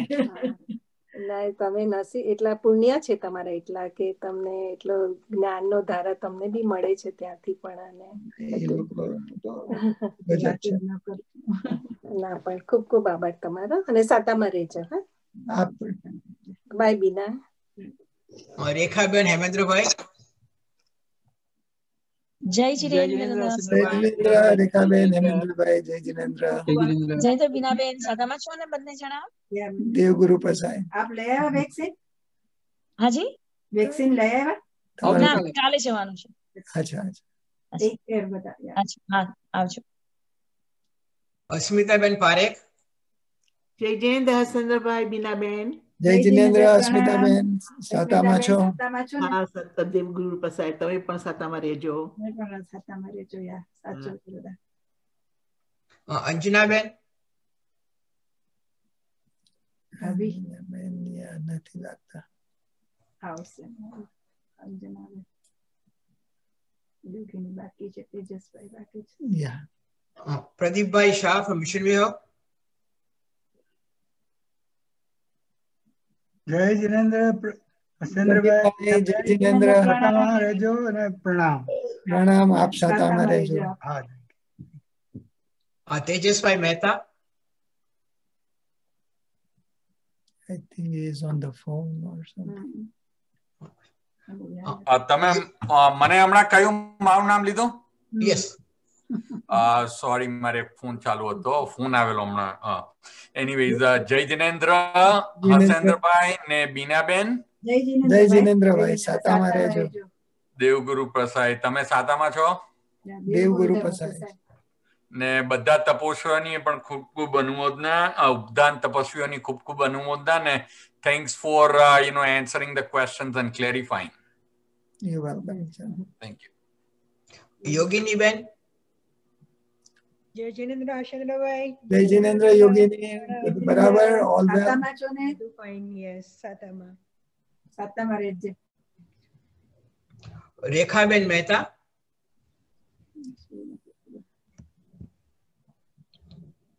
ઓપન છે ઓન છે પણ ખબર નથી. યા આઈ નો મને ખ્યાલ નથી. અંજનાબેન. નથી. રાજ આઈસ્પેડ કોણ છે આ રાજ આઈપેડ પણ કોઈ છે Raj iPad I don't know who that is Pratibha તમે ઓળખો છો રાજ આઈપેડ માટે હા આપણા ઇન્ડિયા વાળા હોય કદાચ અચ્છા રેખાબેન મહેતા પણ કોઈ ખબર નથી બધા સાતામાં બધા સાતામાં પ્રદીપભાઈ થેન્ક યુ વિરેન્દ્રભાઈના સિસ્ટર હશે મહેશભાઈ થેન્ક યુ કોની વાત કરો? Ramesh Sasendrabhai Binaben thank you Maheshbhai thank you Pradeepbhai એક વાત કેવી હતી? હા બોલો. આ સાંભળીને મને તો લાગે છે હજી સુધી મેં તો ખાલી લટાર જ મારી છે સ્વાધ્યાયમાં એમાં. કેટલું બધું ફોકસ આ લોગસમાં તો બહુ સરસ, લોગસ તો કેટલી વાર આવે? મને એની વાત નથી કરતો ફોકસની વાત કરું ફોકસ ફોકસ ને આઈ અન્ડરસ્ટુડ તમે શું કીધું. પહેલા જ આવી ગયું. આ તો મને પૂરું કરવા દો બેન. ના સોરી સોરી એટલે આમાં છે ને મને તો આને જગાડી દીધો કે આ લોકો જેટલી ઇન્ટેન્સિટી ની વાત કરે છે એમાં હું તો દસ ટકા નથી પાંચ ટકા નથી. એટલે it's time to wake up અને દરેક એને એક એક શબ્દ પાછળ અને એની જે વિધિ જ્યારે મેં વાંચ્યું ઉપદાન તપની એની એક્સપેક્ટેશન્સ ઓફ ઉપદાન જે કરતા હોય એને હું એમની અનુમોદના કરતા ચૂક્યો કે એમની અનુમોદના કરવામાં જે ભાવ થવા જોઈએ. આપણે એને બધા અનુષ્ઠાનમાં લગાડી શકીએ હા ચોક્કસ ચોક્કસ. થેન્ક યુ તમે આવું કહો તો તો અમારું શું? તમારું તો વાંચન બી કેટલું બધું છે પ્રદીપભાઈ આપણે આપણે બધા સાથે કરીએ. હવે એકદમ ફોકસ થઈ તમે આવું તો અમારે તો કઈ ના નહીં હું તો કઈ એટલું વાંચી બી નથી શકતી. તમે તો કેટલું બધું વાંચો છો. આપણે સરખામણી નથી કરવાની સરખામણી નહીં પણ ખરેખર એટલે અમને પણ એવું થાય કે આપણે તો ક્યાંય ના નથી એમ. બરાબર. તો કાલથી શરૂઆત કરો. આપણે બધા એકદમ ફોકસ થઈ ગઈ રાઈટ રાઈટ લટકાર મારવાની નથી સ્વાધ્યાયમાં ખરેખર. બહુ સરસ. હવે ઇટ્સ અ વેકઅપ કોલ કે કેટલું ભાગે છે? અને આપણે મહાવીર સ્વામીના શબ્દોમાં છે એટલે. રાઈટ રાઈટ ગૌતમ સ્વામી ને મહાવીર સ્વામી ની વાત કોઈ શંકા નહીં હોવી જોઈએ કોઈ ભય ન હોવો જોઈએ. રાઈટ રાઈટ આશંકા રહિત. કોઈ પ્રપંચ નહીં. રાગ દ્વેષ નહીં. It's a wake up call it's a wake up call અને અહીંયા ઘણીવાર બધા જે યોગાની ધ્યાનની વાત કરતા હોય છે ને એમાં યમ નિયમની વાતને આગળ લેતા નથી. આપણે તો અહીંયા એટલે હિંસા વગેરેના ત્રિવિધે ત્રિવિધે પરિણામ ન હોવા. ત્યાર પછીની વાત શરૂ થાય છે. એટલે ઇટ્સ ઓલ પ્રી ક્વોલિફાઈંગ તો ઘણીવાર આપણે ભૂલી જતા હોઈએ છીએ બધું. આપણને ફળ કેમ નથી મળતું એનો જવાબ અહીંયા આવી જાય. એનો જવાબ આવી જાય છે. રાઈટ રાઈટ પ્રદીપભાઈ મહેશભાઈ ખૂબ ખૂબ આભાર. જય જયેન્દ્ર મહેન્દ્રભાઈ થેન્ક યુ મહેન્દ્રભાઈ જય જય જિનેન્દ્ર તો વીડિયો તો ચાલુ કરો યાર. હેરાન કરો છો ખાલી વર્ડ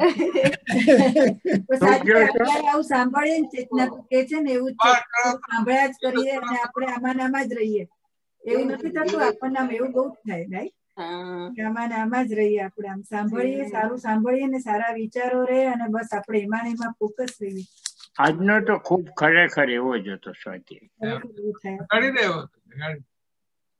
પ્રદીપભાઈ આભાર મહેશભાઈ આભાર. આભાર બધાનો આભાર. Thank you all thank you ને ગુડ નાઇટ આજ તો વિચારમાં રાત્રિ જશે તો સરસ જશે રાતના પણ આજ સારા વિચાર બસ બસ એ જ very true very true thank you good night good night thank you again Pradeepbhai Maheshbhai. Thank you રજા લઈએ. Thank you thank you Pradeepbhai Maheshbhai આપણે બધાને થેન્ક યુ કહીએ. બધા ભેગા મળીને આપણે કરી શકીએ છીએ. એક ખૂબ અનુમોદના બધા એ જ છે. આપણે બધા આપણા બધા ચાલુ રહે આપણે અને થાકી એકબીજાને પુશ આપો. યસ યસ એટલી અનુમોદના બપોરે ચાલુ કરો તો સારું એકચ્યુઅલી હા બપોરે. જ્યોતિબેન શિકાગો થી બોલાય છે બેન. પણ મને બપોરે તમે કરો ને તો ઓર મજા આવે. ડિટેલમાં બી જવાય અને રિપીટેશન બી થાય ને. બપોરે તમારે ફરીથી જોઈ લેવાનું. એ તો હું સ્વાધ્યાયની વાત કરું છું બધા ભેગા થઈને. આ તો હું ઘણી વખત જોતી હોઉં છું બપોરે સાંજે. આમાં બેન ઘણા જોબ કરતા હોય ને અત્યારે ઓનલાઈનથી બી એટલે થોડી તકલીફ થાય. એ તમે બપોરે ને પુનરાવર્તન માટે રાખ્યું એટલે તકલીફ થાય ને તો બપોરે બી લઈ લેવાય અત્યારે પણ બધા ઘણા જોબ બી કરતા હોય જોબ વાળા હોય યા ના એટલે આમ જસ્ટ સેઇંગ ના ના બરાબર છે તમારી વાત. સાતામાં રહેજો. ચાલો બધા સાતામાં રહેજો. ઓકે જય Jinendra. Good night good night